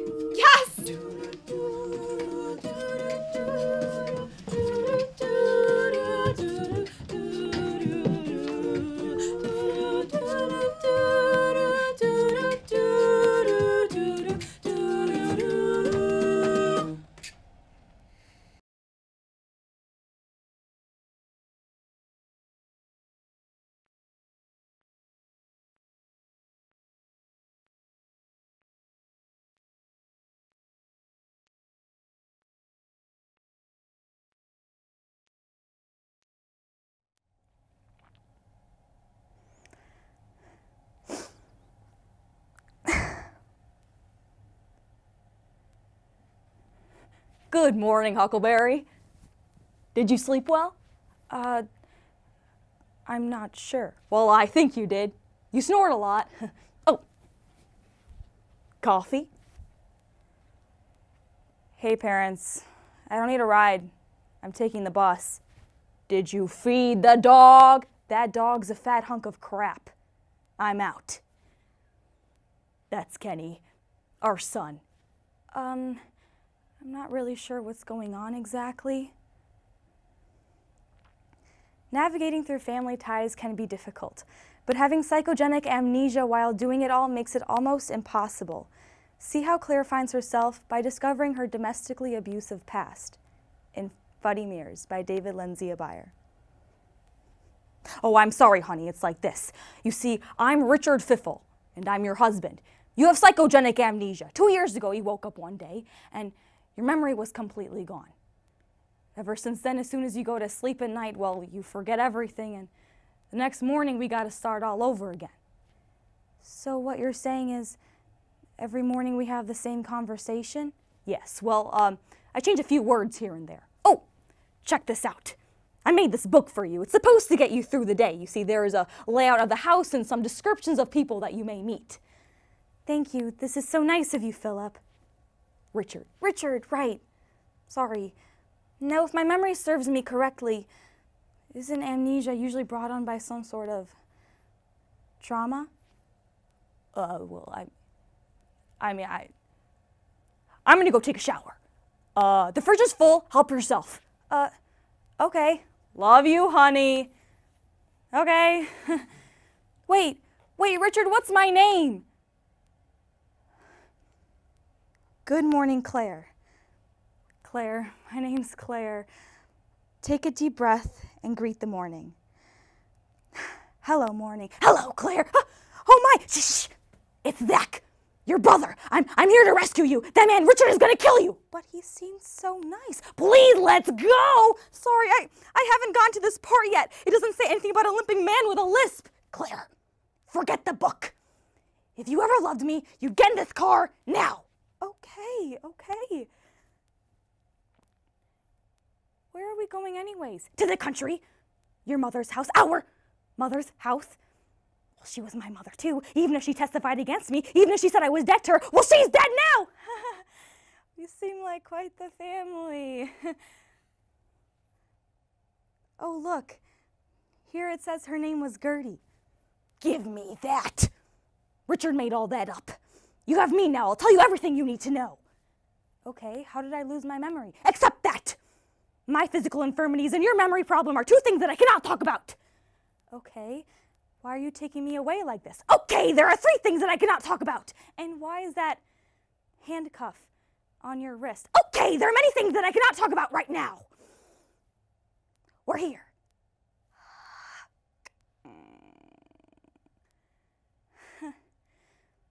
Pretty house. I can tell that I grew up here. Claire, this is my, um, friend, Millet. Hi! Nice to meet you. Millet, did you get everything on the list? Yeah, they're all in the trunk of my car, boss. Uh, um, did you guys steal all those cars? Yeah! Millet! Oh! I mean, we them. you guys stay put. I'm gonna go check out the car, okay? Hey, hey, Millet. Does does Zach ever say why I'm such a blank slate? Um, I'm not really allowed to talk about it. Oh, okay, your husband threw you across the kitchen floor and smashed your head with an oven door. Ah, oh, Millet. What? So is that why Zach took me away from that Richard guy? Because he hurt me? Everyone playing by the rules in here. Why didn't you tell me that Richard beat me up? Millet, sorry! I panic. It's uh Claire, I need you to know that you're safe here. Okay? Okay. Okay. Pictures. Okay, so this must be mom and dad. Claire, what you got there? Nothing, just looking at some pic. Cheers. Hey, this is Zach's obituary. That's that's not real, Claire. It says Zach was eight years old when he died. That's a different boy, Claire. Claire. Richard, How did you find me here, Claire? Did this man hurt you? Mom, me and Richard are here to take you home. Will someone please just tell me what's going on exactly? Zach? Mom, this man isn't Zach. His name is Philip. He's my biological father, and you were married to him for 19 years, Mom. Don't you remember that? I thought Richard was my husband. Second husband. Claire, I was I was waiting for the right time to tell you. I'm I'm really sorry, okay? Sorry for what? Mom, Philip has a short fuse and a killer left hook. Claire, I, I used to have a temper, but but not anymore, okay? I, I've changed. Richard didn't beat me up. It was you all along. Mom, do you remember my 12th birthday? I don't know what happened, but but he got so angry that he, he grabbed you and he threw you across the kitchen floor and, and he smashed your head with an oven door.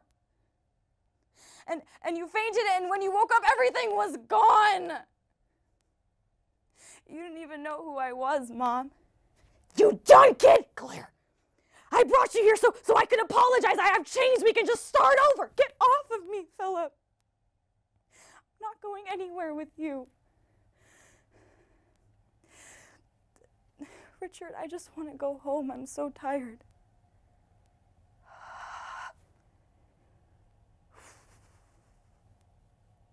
What a day.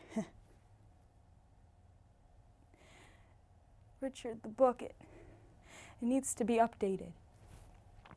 The doctors didn't want you to get that upset every day. I'm telling you to put it in.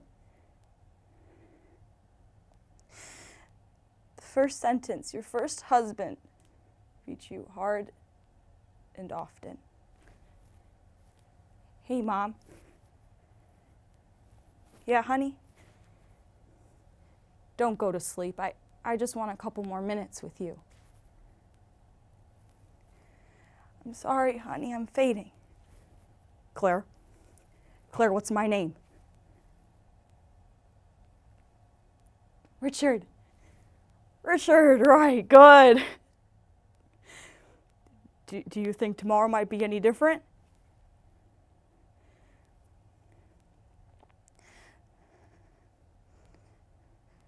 I, I don't know, Philip.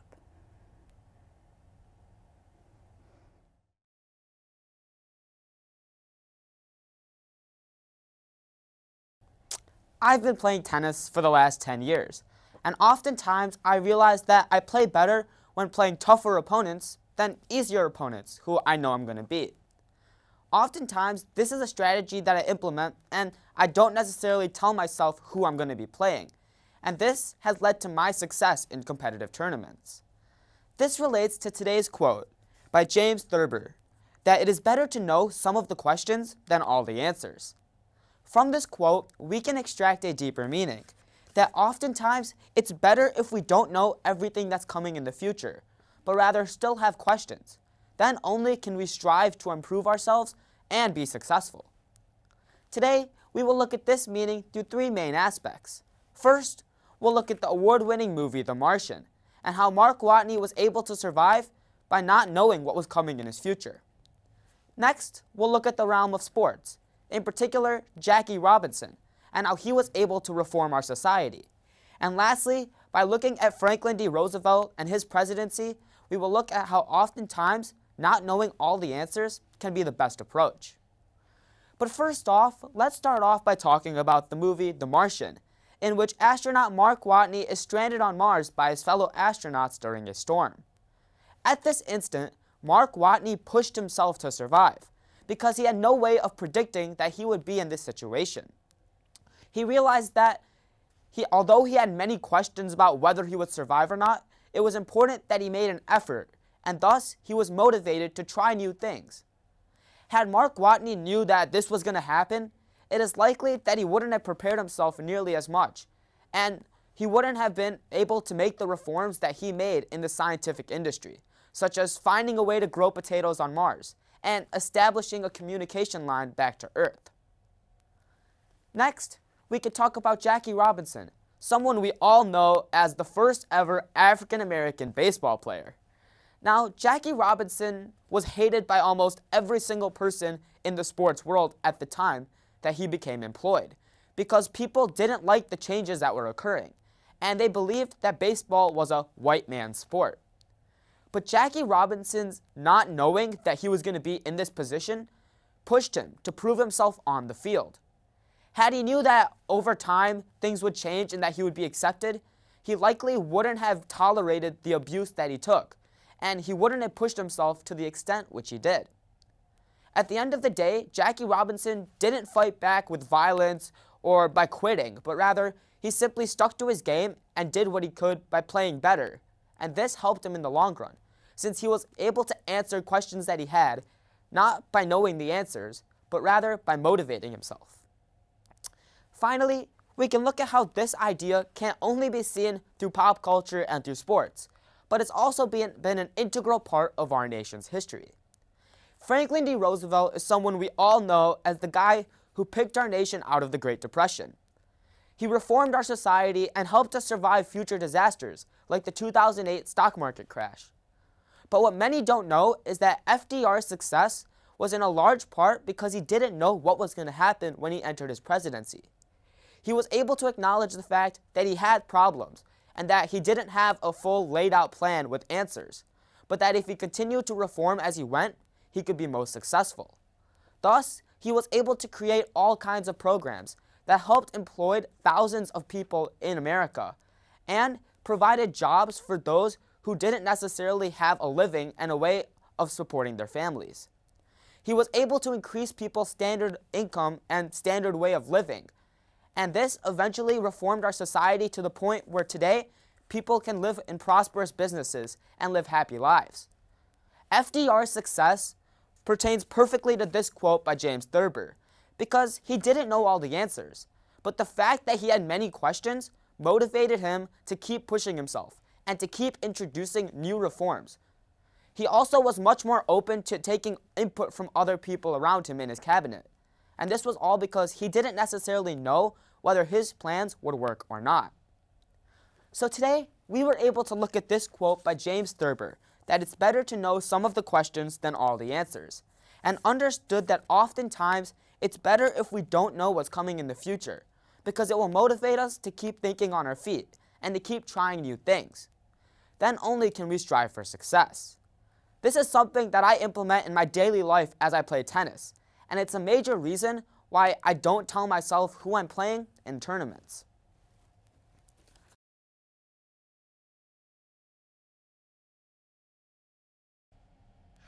Ain't no rest for the wicked. Money don't grow on trees. I got bills to pay, I got mouths to feed, and ain't nothing in this world for free. I can't slow down, I can't hold back. Don't you know? I wish I could. Ain't no rest for the wicked. Till we close our eyes For good. The Royal Tenenbaums. Screenplay by Wes Anderson and Owen Wilson. Royal Tenenbaum had three children, Chaz, Richie, and Margot. Their family was wildly successful in all that they did. Richie Tenenbaum had been a champion tennis player since the third grade. He turned pro at 17 and won U.S. Nationals three years in a row. Good game, Richie. You know, you always were my favorite. I know, Dad. Chaz Tenenbaum had, since elementary school, bought real estate and seemed to have an almost preternatural understanding of international finance. Dad, I need $187. What for? Well, I was going to. Wait a minute. I just remembered. I don't care. Ask your mother. Mom? Go write yourself a check, honey. What? Margot was the only one of the Tenenbaum children who was adopted. Her father always made sure he noted this when introducing her. This is my adopted daughter, Margot Tenenbaum. It's a pleasure to meet you. Whatever. Margot was a gifted playwright and won a Braverman grant of $50,000 in the ninth grade. What'd you think of Margot's play? Uh, it wasn't very believable. I mean, it was just a bunch of kids dressed up in costumes. Good night, everyone. Well, at least the costumes were cheap. How dare you speak to our daughter like that? Sweetie, don't be mad. That's just a one man's opinion. Richie's best friend Eli Cash lived across the street. He was a failing writer and regular fixture at family gatherings. Who are you? Eli? Eli, Richie's friend? Oh, right. What is he doing here? He's spending the night. You know, you really should start taking more interest in our children's lives. Etheline Tenenbaum kept the house and raised the children, and their well-being was her highest priority. Royal and Etheline Tenenbaum had three children, and then they separated.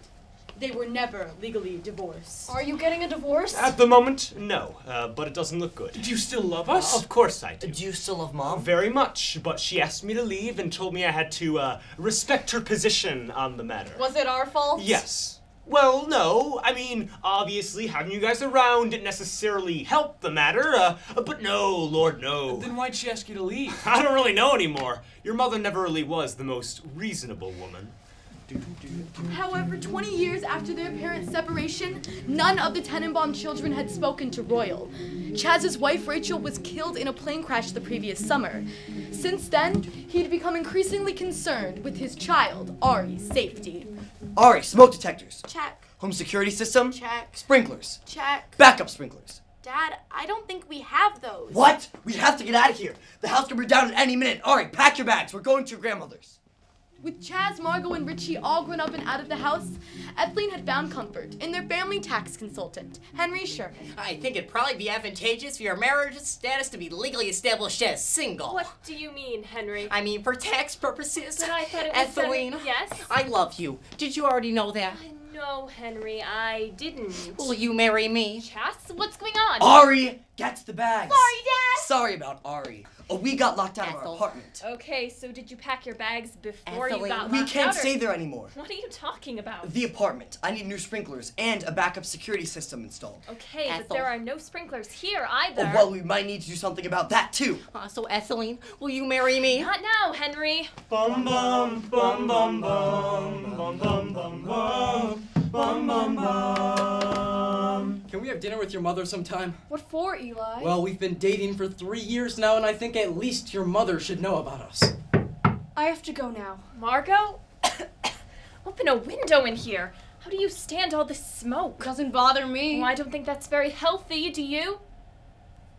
Chaz came home. Why? Well, I don't know exactly, but I think he's been very depressed. I am too. Well, then you should come home. Okay, I will. You got a minute? What are you doing? I need a favor. I want to spend some time with you and the children. crazy? No, hold on, dang it. Uh, look, baby, I, I, I'm dying. I'm sick as a dog. I'll be dead in six weeks. Oh my god, what are you talking about? I'm sorry, I didn't know. Wait a second, listen. I'm not really dying. I just want to spend some time with you. A month, maybe two. What's wrong with you? Ethel. Go away. Oh, baby, I I am dying. Are you or aren't you? Dying? Um, yeah. Hey, Eli. Look, I know this is weird, but I had to tell someone. I'm coming home soon, and Margot's gonna be there, and I don't know what I'm gonna do because I think, I think I'm in love with her. Who's your father? His name is Royal Tenenbaum. But you told me he was already dead. Well, he's dying now. Hey, Margot. Gee, it's been a while, but you look great. You don't look so bad yourself. Hello, everyone. Ari, go to your room. Uh, Royal, this is Henry Sherman. How do you do? Uh, well, what can I say? I'm dying. You don't look too bad to me, Pop. Oh, well, thank you. What have you got? I've got a pretty bad case of uh, cancer, I'm afraid. So, how long are you gonna last? A month, a year, a day? About six weeks, but uh, let me get to the point here. The three of you and your mother are, are all I've got, and I love you more than anything. I want to set things right. Will you give me the chance? No! What do you propose to do? Well, uh, make up for lost time, I suppose. Uh, the first thing I'd like to do is to take you all to see your grandmother. I haven't been out there since I was six. I haven't been out there at all. I was never invited. Well, she's not your real grandmother, so I don't know why you'd be interested. Uh, but anyways, you're invited this time. You know, Rachel's buried there too. Who? My wife. Well, we'll just have to swing by her grave too. Anybody want to grab a few burgers and hit the cemetery? Unbelievable. Chaz? Well, wait a second. Uh, Chaz, come back. Will you at least let me see my grandchild? Stay away from my child. Do you understand me? You think you could start forgiving me? No, why should I? Because you're hurting Are me. Are you even listening to me? Yes, I am. And I think you're having a nervous breakdown. I don't believe you've recovered from Rachel's I can't deal with this anymore. Oh. Hey there, Ari. I didn't see you there. I'm Royal. You heard of me? Yeah. Look, I'm sorry for your loss. Your mother was a terribly attractive woman. Thank you. So how's your father doing? He's fine. You should tell him you want to meet me. But we just met. No, we didn't. Look, Ari, I, I want us to have a relationship, but uh, we're gonna have to pull some strings if we want to make that happen. Here's what you have to tell him. Here's what you have to tell him. I bet Mom would have wanted me to meet him before he died. She would have, wouldn't she? Uh, You want to meet him? Let's go. Hey, you seem pretty down lately. Is everything okay? I'm fine. Well, if you need someone to talk to, let me know. I know you're having some problems, but anyway, maybe I can help. Thanks.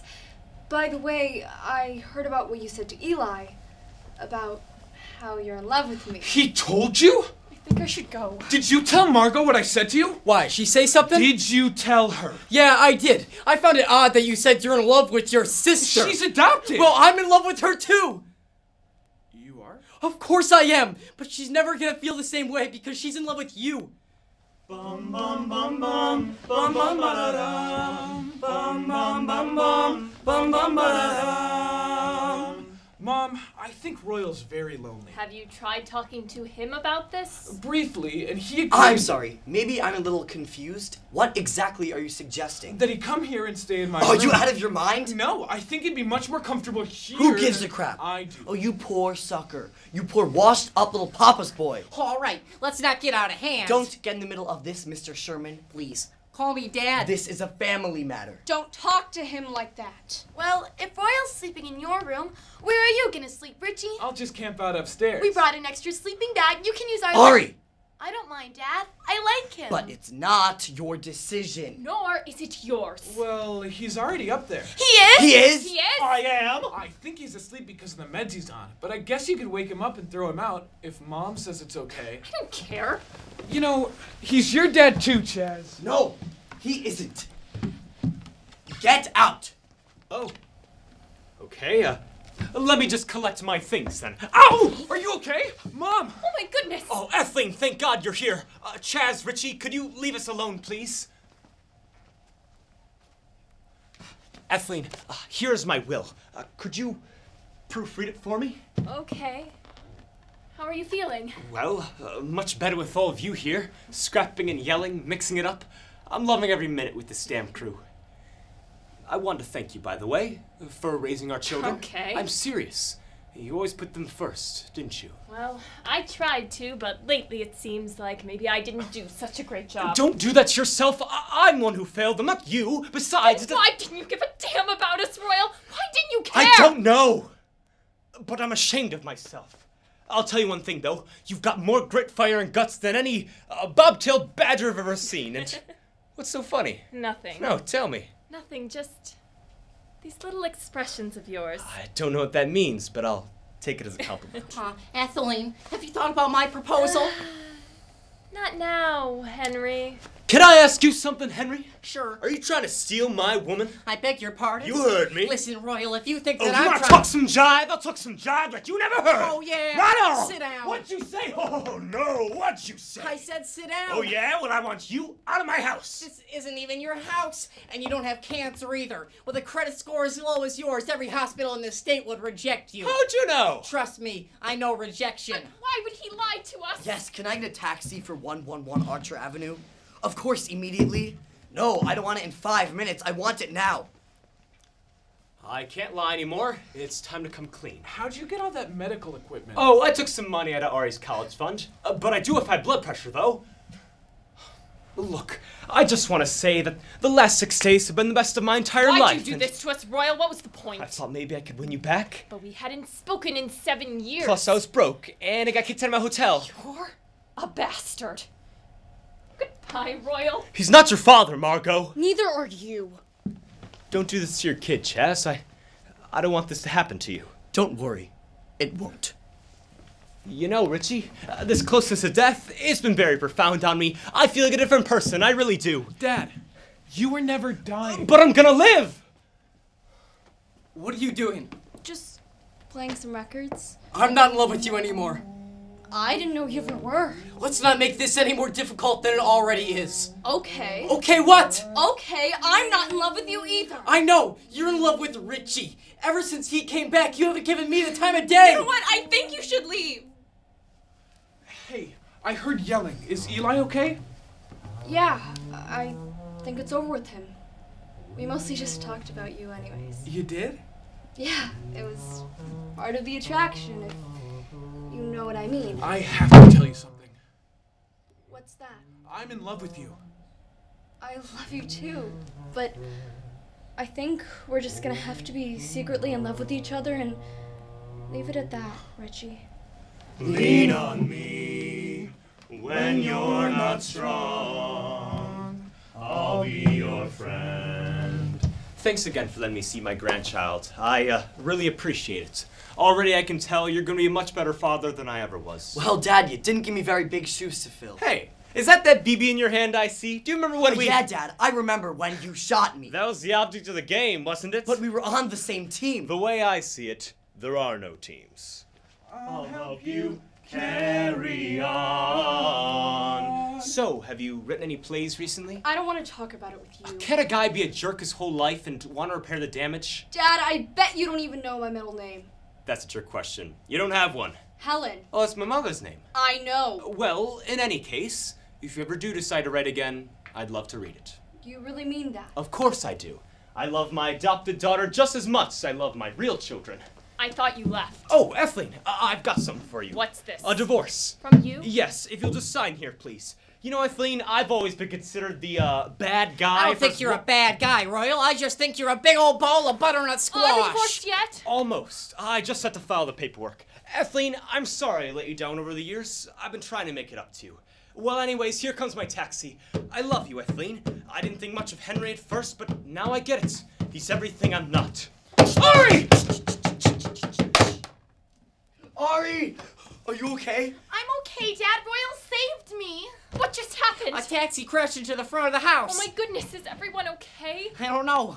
In his will, Royal stipulated that his funeral take place at dusk.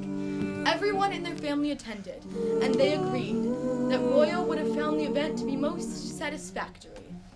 I can't believe he's really gone. You know, I always wanted to be a Tenenbaum. You always have been. So, uh, Etheline, now that Royal's gone, will you marry me? Not now, Henry. I'll think about it. We've had a rough year, Ari. I know we have, Dad. Uh, you know, this is how Royal would have wanted it. Us, as a family, together. I hope you find your peace, falling on your knees, changing.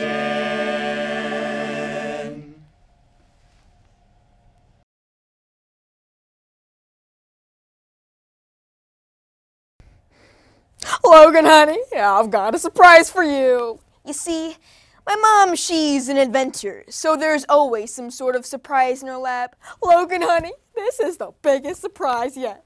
You've been asking for this since you were little. But, Mom, the only thing I ever wanted was a little brother. Oh, brother, you adopted a brother for me? I just ran straight for the garage. Boop. Boop, boop, boop, boop, boop.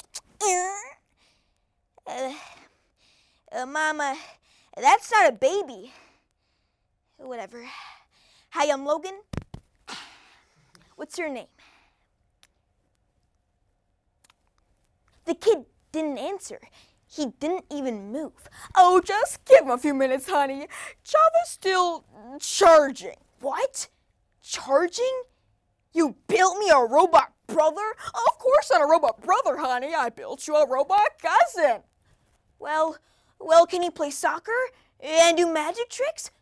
Could he be my assistant? Well, sure. He can basically do anything a kid can do, even homework. Also, I've arranged for him to be in your class at school. Mom, you want me to bring a robot to school? Well, sure, he'll go to school every day, but you can't tell anybody he's a robot, honey. Suddenly, Java began to speak.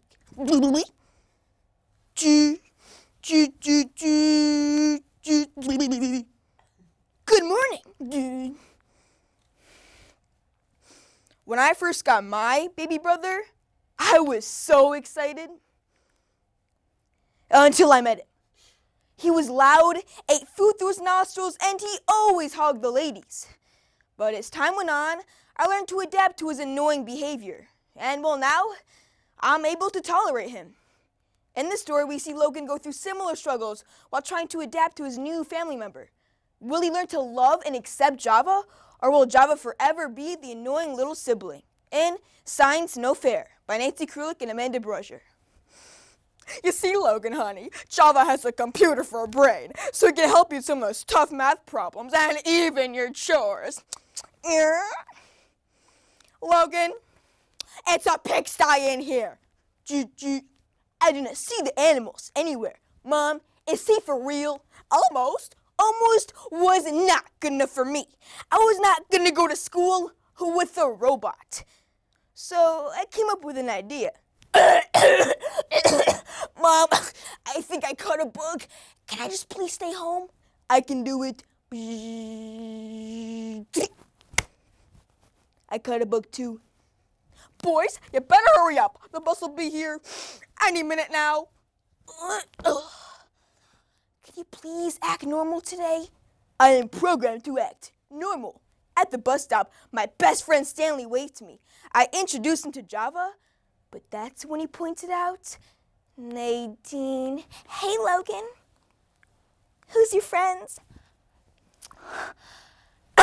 Sorry, that's my cousin. His name's Java. Cool name.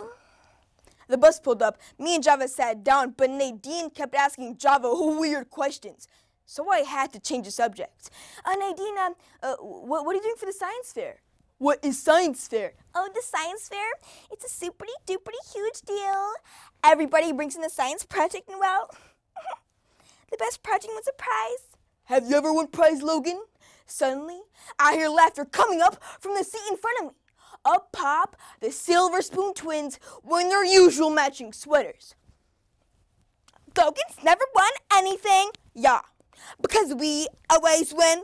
Well, me and Stanley working together this year, and we have something amazing. Is it gonna be a bigger disaster than your magic trick last year? Ew. No, this will be different. Our invention is gonna, it's gonna knock it out of the park. That is baseball term. Is science fair in baseball stadium? The twins gave Java a weird look, and then turned back into their seats. But near the end of the bus ride, I heard them whispering, Sherry, there's something weird about that new kid. Yeah, and we're gonna find out what it is. After class that day, I see the twins running up to Java. Hey Java, you should be in our group for the science fair. So that was their plan. They're gonna use my super smart cousin for their project. But it wasn't fair. Java's my android. On the day of the science fair, Nadine was setting up her project right next to the supersonic spun machine. Ah, we love you. That means Stanley made, or otherwise known as our potato battery. Next to us was the twins in Java, who made a real beehive with actual bees for their project. And then I see Nadine walk over and pull Java by the arm. Hey Java, you should try out my Magna projects. Nadine didn't ask me to try out her project. K O. Don't you mean okay? The average person spends three years sitting on the toilet. What are you talking about? The world's stinky cheese comes from France.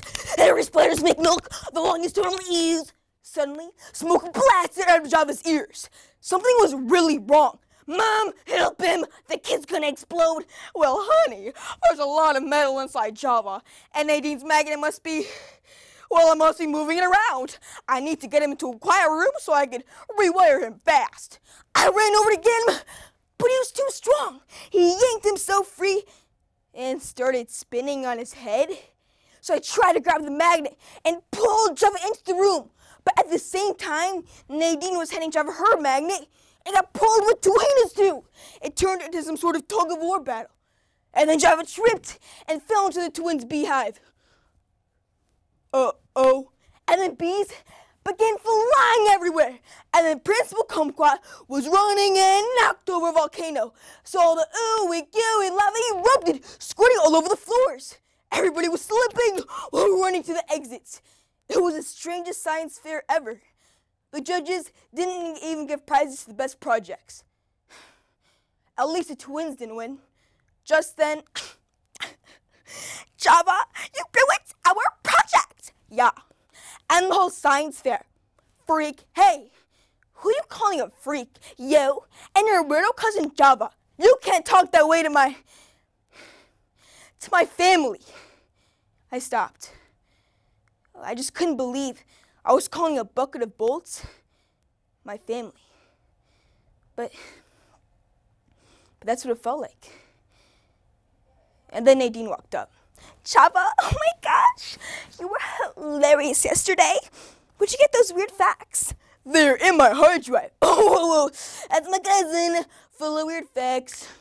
Yeah. Oh, Chava, you were so brave yesterday with all those bees, like you didn't even cry when everybody else did. It's almost like you're, I don't know, part machine. After class that day, I realized that with Java here, something still didn't change. Stanley was still my best friend. The twins were still bullies, and luckily, nobody knew Java's a robot.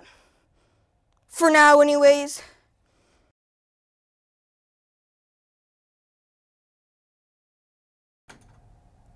When you hear about yard signs, you probably think of garage sales, graduation parties, or homes for sale. But my first thought is campaign signs. The election of 2016 is still fresh on my mind when all my neighbors' yard signs were up for their candidates. Driving through my subdivision, I couldn't help but match my neighbors' faces to their signs. Unconsciously, I changed the way I viewed them just from discovering which political party they endorsed. Bill was no longer the happy and caring old man who was eager to share valuable life lessons, and Miss Klein was no longer the horrible mean lady who blew her leaves into our yard. I actually liked her now after finding out that she supports the same political party as I do. And I am certainly not alone. Yale University political scientist David Brooks argues that people are being measured by a party label, determining whether they should be hired, married, trusted, or discriminated against. Political preferences are now symbols of someone's worth and dignity. Sadly, our country has become the divided states of America, and that needs to change. So today, we'll look at the problems of political polarization highlight the causes of this extreme division, and finally, explore some solutions that we can all use to unite our states of America. The Pew Research Center defines political polarization as the growing gap between liberals and conservatives, Democrats and Republicans. And this gap is growing wider each day. In 1960, when Americans were asked whether they'd be angry if their children married across party lines, only 5% of Republicans and 4% of Democrats said they'd be upset. 50 years later, the market research company YouGov conducted the same poll and found that an astounding 49% of Republicans and 33% of Democrats expressed concern about cross-party marriage. These marriage polls uncover a deeper problem.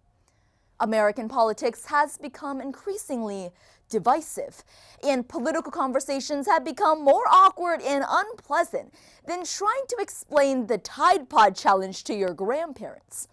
Your Generation 8 paste, mine guzzles detergent. We'll never agree on which idea is better, just like Congress.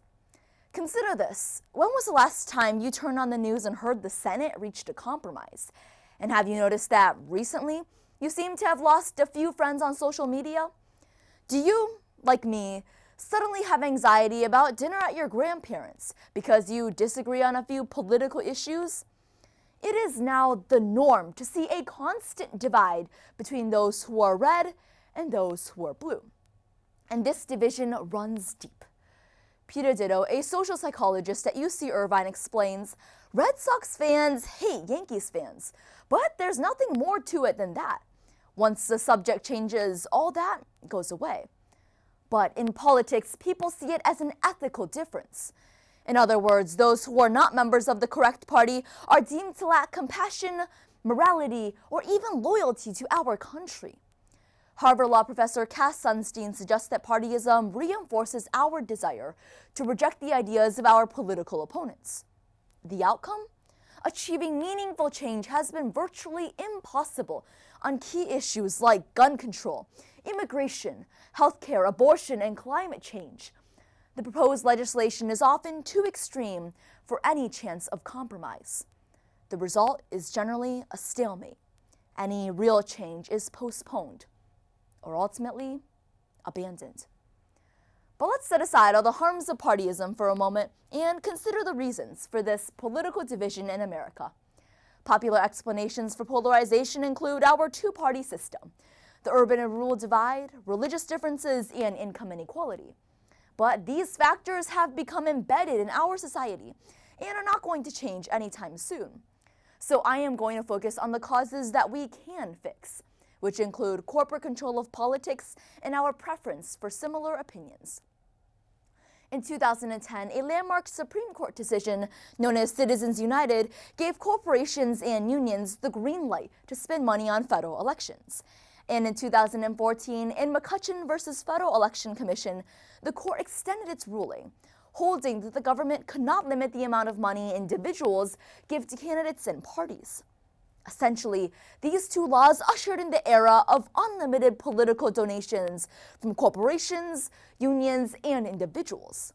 According to the American news website Vox, less than 1% of the population gives 68% of the money to politicians, and 74% of those donors are extremely polarized. We, the remaining 99% of the American people, are simply powerless because we don't have the money to compete. But what has truly been the flames of our country's division is the media. Stanford University found that over 75% of Americans believe that news organizations are biased when presenting political issues. A generation ago, it wouldn't have mattered which television channel you watched. News was just news. Today, it has been said that if you watch Fox News, you're living on a different planet than if you watch MSNBC. Now, we can choose to hear messages that reinforce our beliefs and avoid those of different points of view, which is a phenomenon known as the confirmation bias. And the internet has been programmed to exploit this phenomenon. According to a 2017 study from Brown University, search engines like Google have been programmed to dissect what type of information we like to read and pump us with information that reinforces our political viewpoints we have been feeding ourselves only one sided information. And this has led to tunnel vision and blindness to the experiences and thoughts of our fellow Americans. Politics is essentially a reflection of our beliefs, and its polarization will not change unless we change first. We must ultimately hold ourselves accountable for America's political division. But can we fix the problem? Can we lessen the effects of big money? Can we find a way to bridge the political divide in our media? The answer is yes. It's true that without a constitutional amendment, we can't stop the wealthy or big corporations from making donations, but we can limit their influence with actions at the state and local levels. A 2016 article in the Atlantic Monthly points to several real life examples. New York City matches small donations 6 to 1 for those candidates who agree to contribution limits. And Maine offers grants to candidates who receive a specific number of $5 donations from individuals. These programs amplify the contributions of ordinary citizens and encourage politicians to pay attention to all of their donors, not just the corporate and wealthy ones. As for our own news consumption, while we may not be able to change social media in the way it feeds off our confirmation bias, we can seek out more impartial news sources. I'm not saying stop watching Fox News or MSNBC, but add to these sources with websites like All Sides, which can help us get a more balanced view of everyday conflicts. Don't trust the internet? Try talk radio, specifically the podcast Pantsuit Politics, where two hosts, one Democrat and one Republican discussed daily news in a remarkably peaceful manner. But ultimately, the power to create social change is in our hands. We must step out of our personal bubbles and step into forums of meaningful and empathetic discussion. And to achieve this, we need to exercise the power of listening. Stephen Covey, author of The Seven Habits of Highly Effective People, captured it best. Seek first to understand, then to be understood. We cannot judge others without first understanding their stories. Listening to the other side will open our eyes to factors we would have never previously considered. When we grasp the root of where our opponents are coming from, we will have more productive conversations. And if we, the people, demand respectful communication from ourselves and support fact based news, then the media will have no choice but to steer away from bias. As Abraham Lincoln once said, a house divided against itself cannot stand. America cannot move forward as a divided nation. It's about time we realize that our similarities far exceed our differences. So, the next time we see a campaign sign that we disagree with, let's try to ignore the label and offer our neighbor a genuine smile in an open ear for friendly conversation. Because we are all Americans. And that is, after all, what matters in the end. Thank you.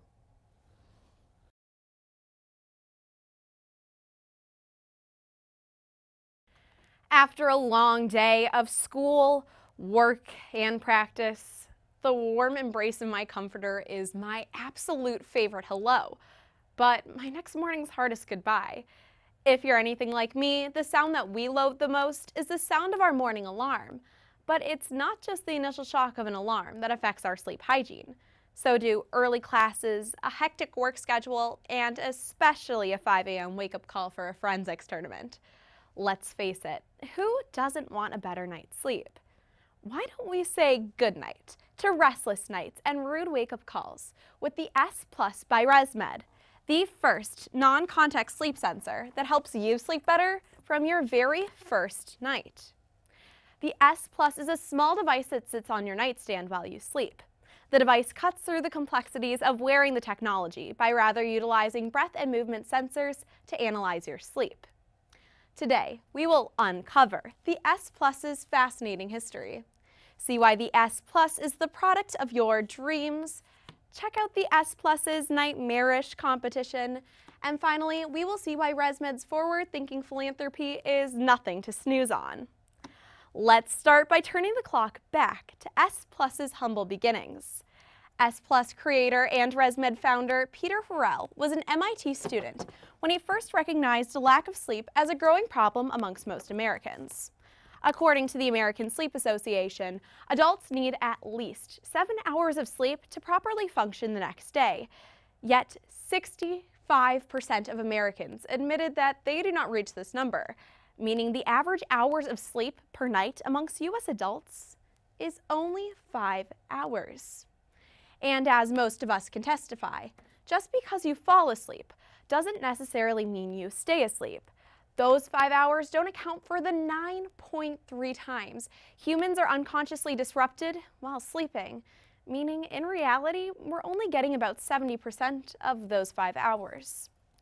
For struggling with sleep problems of his own, Farrell imagined what it would be like if we as humans could all fully utilize every hour of shut-eye we're able to fit into our chaotic days. Now he realized he couldn't force people to go to bed earlier.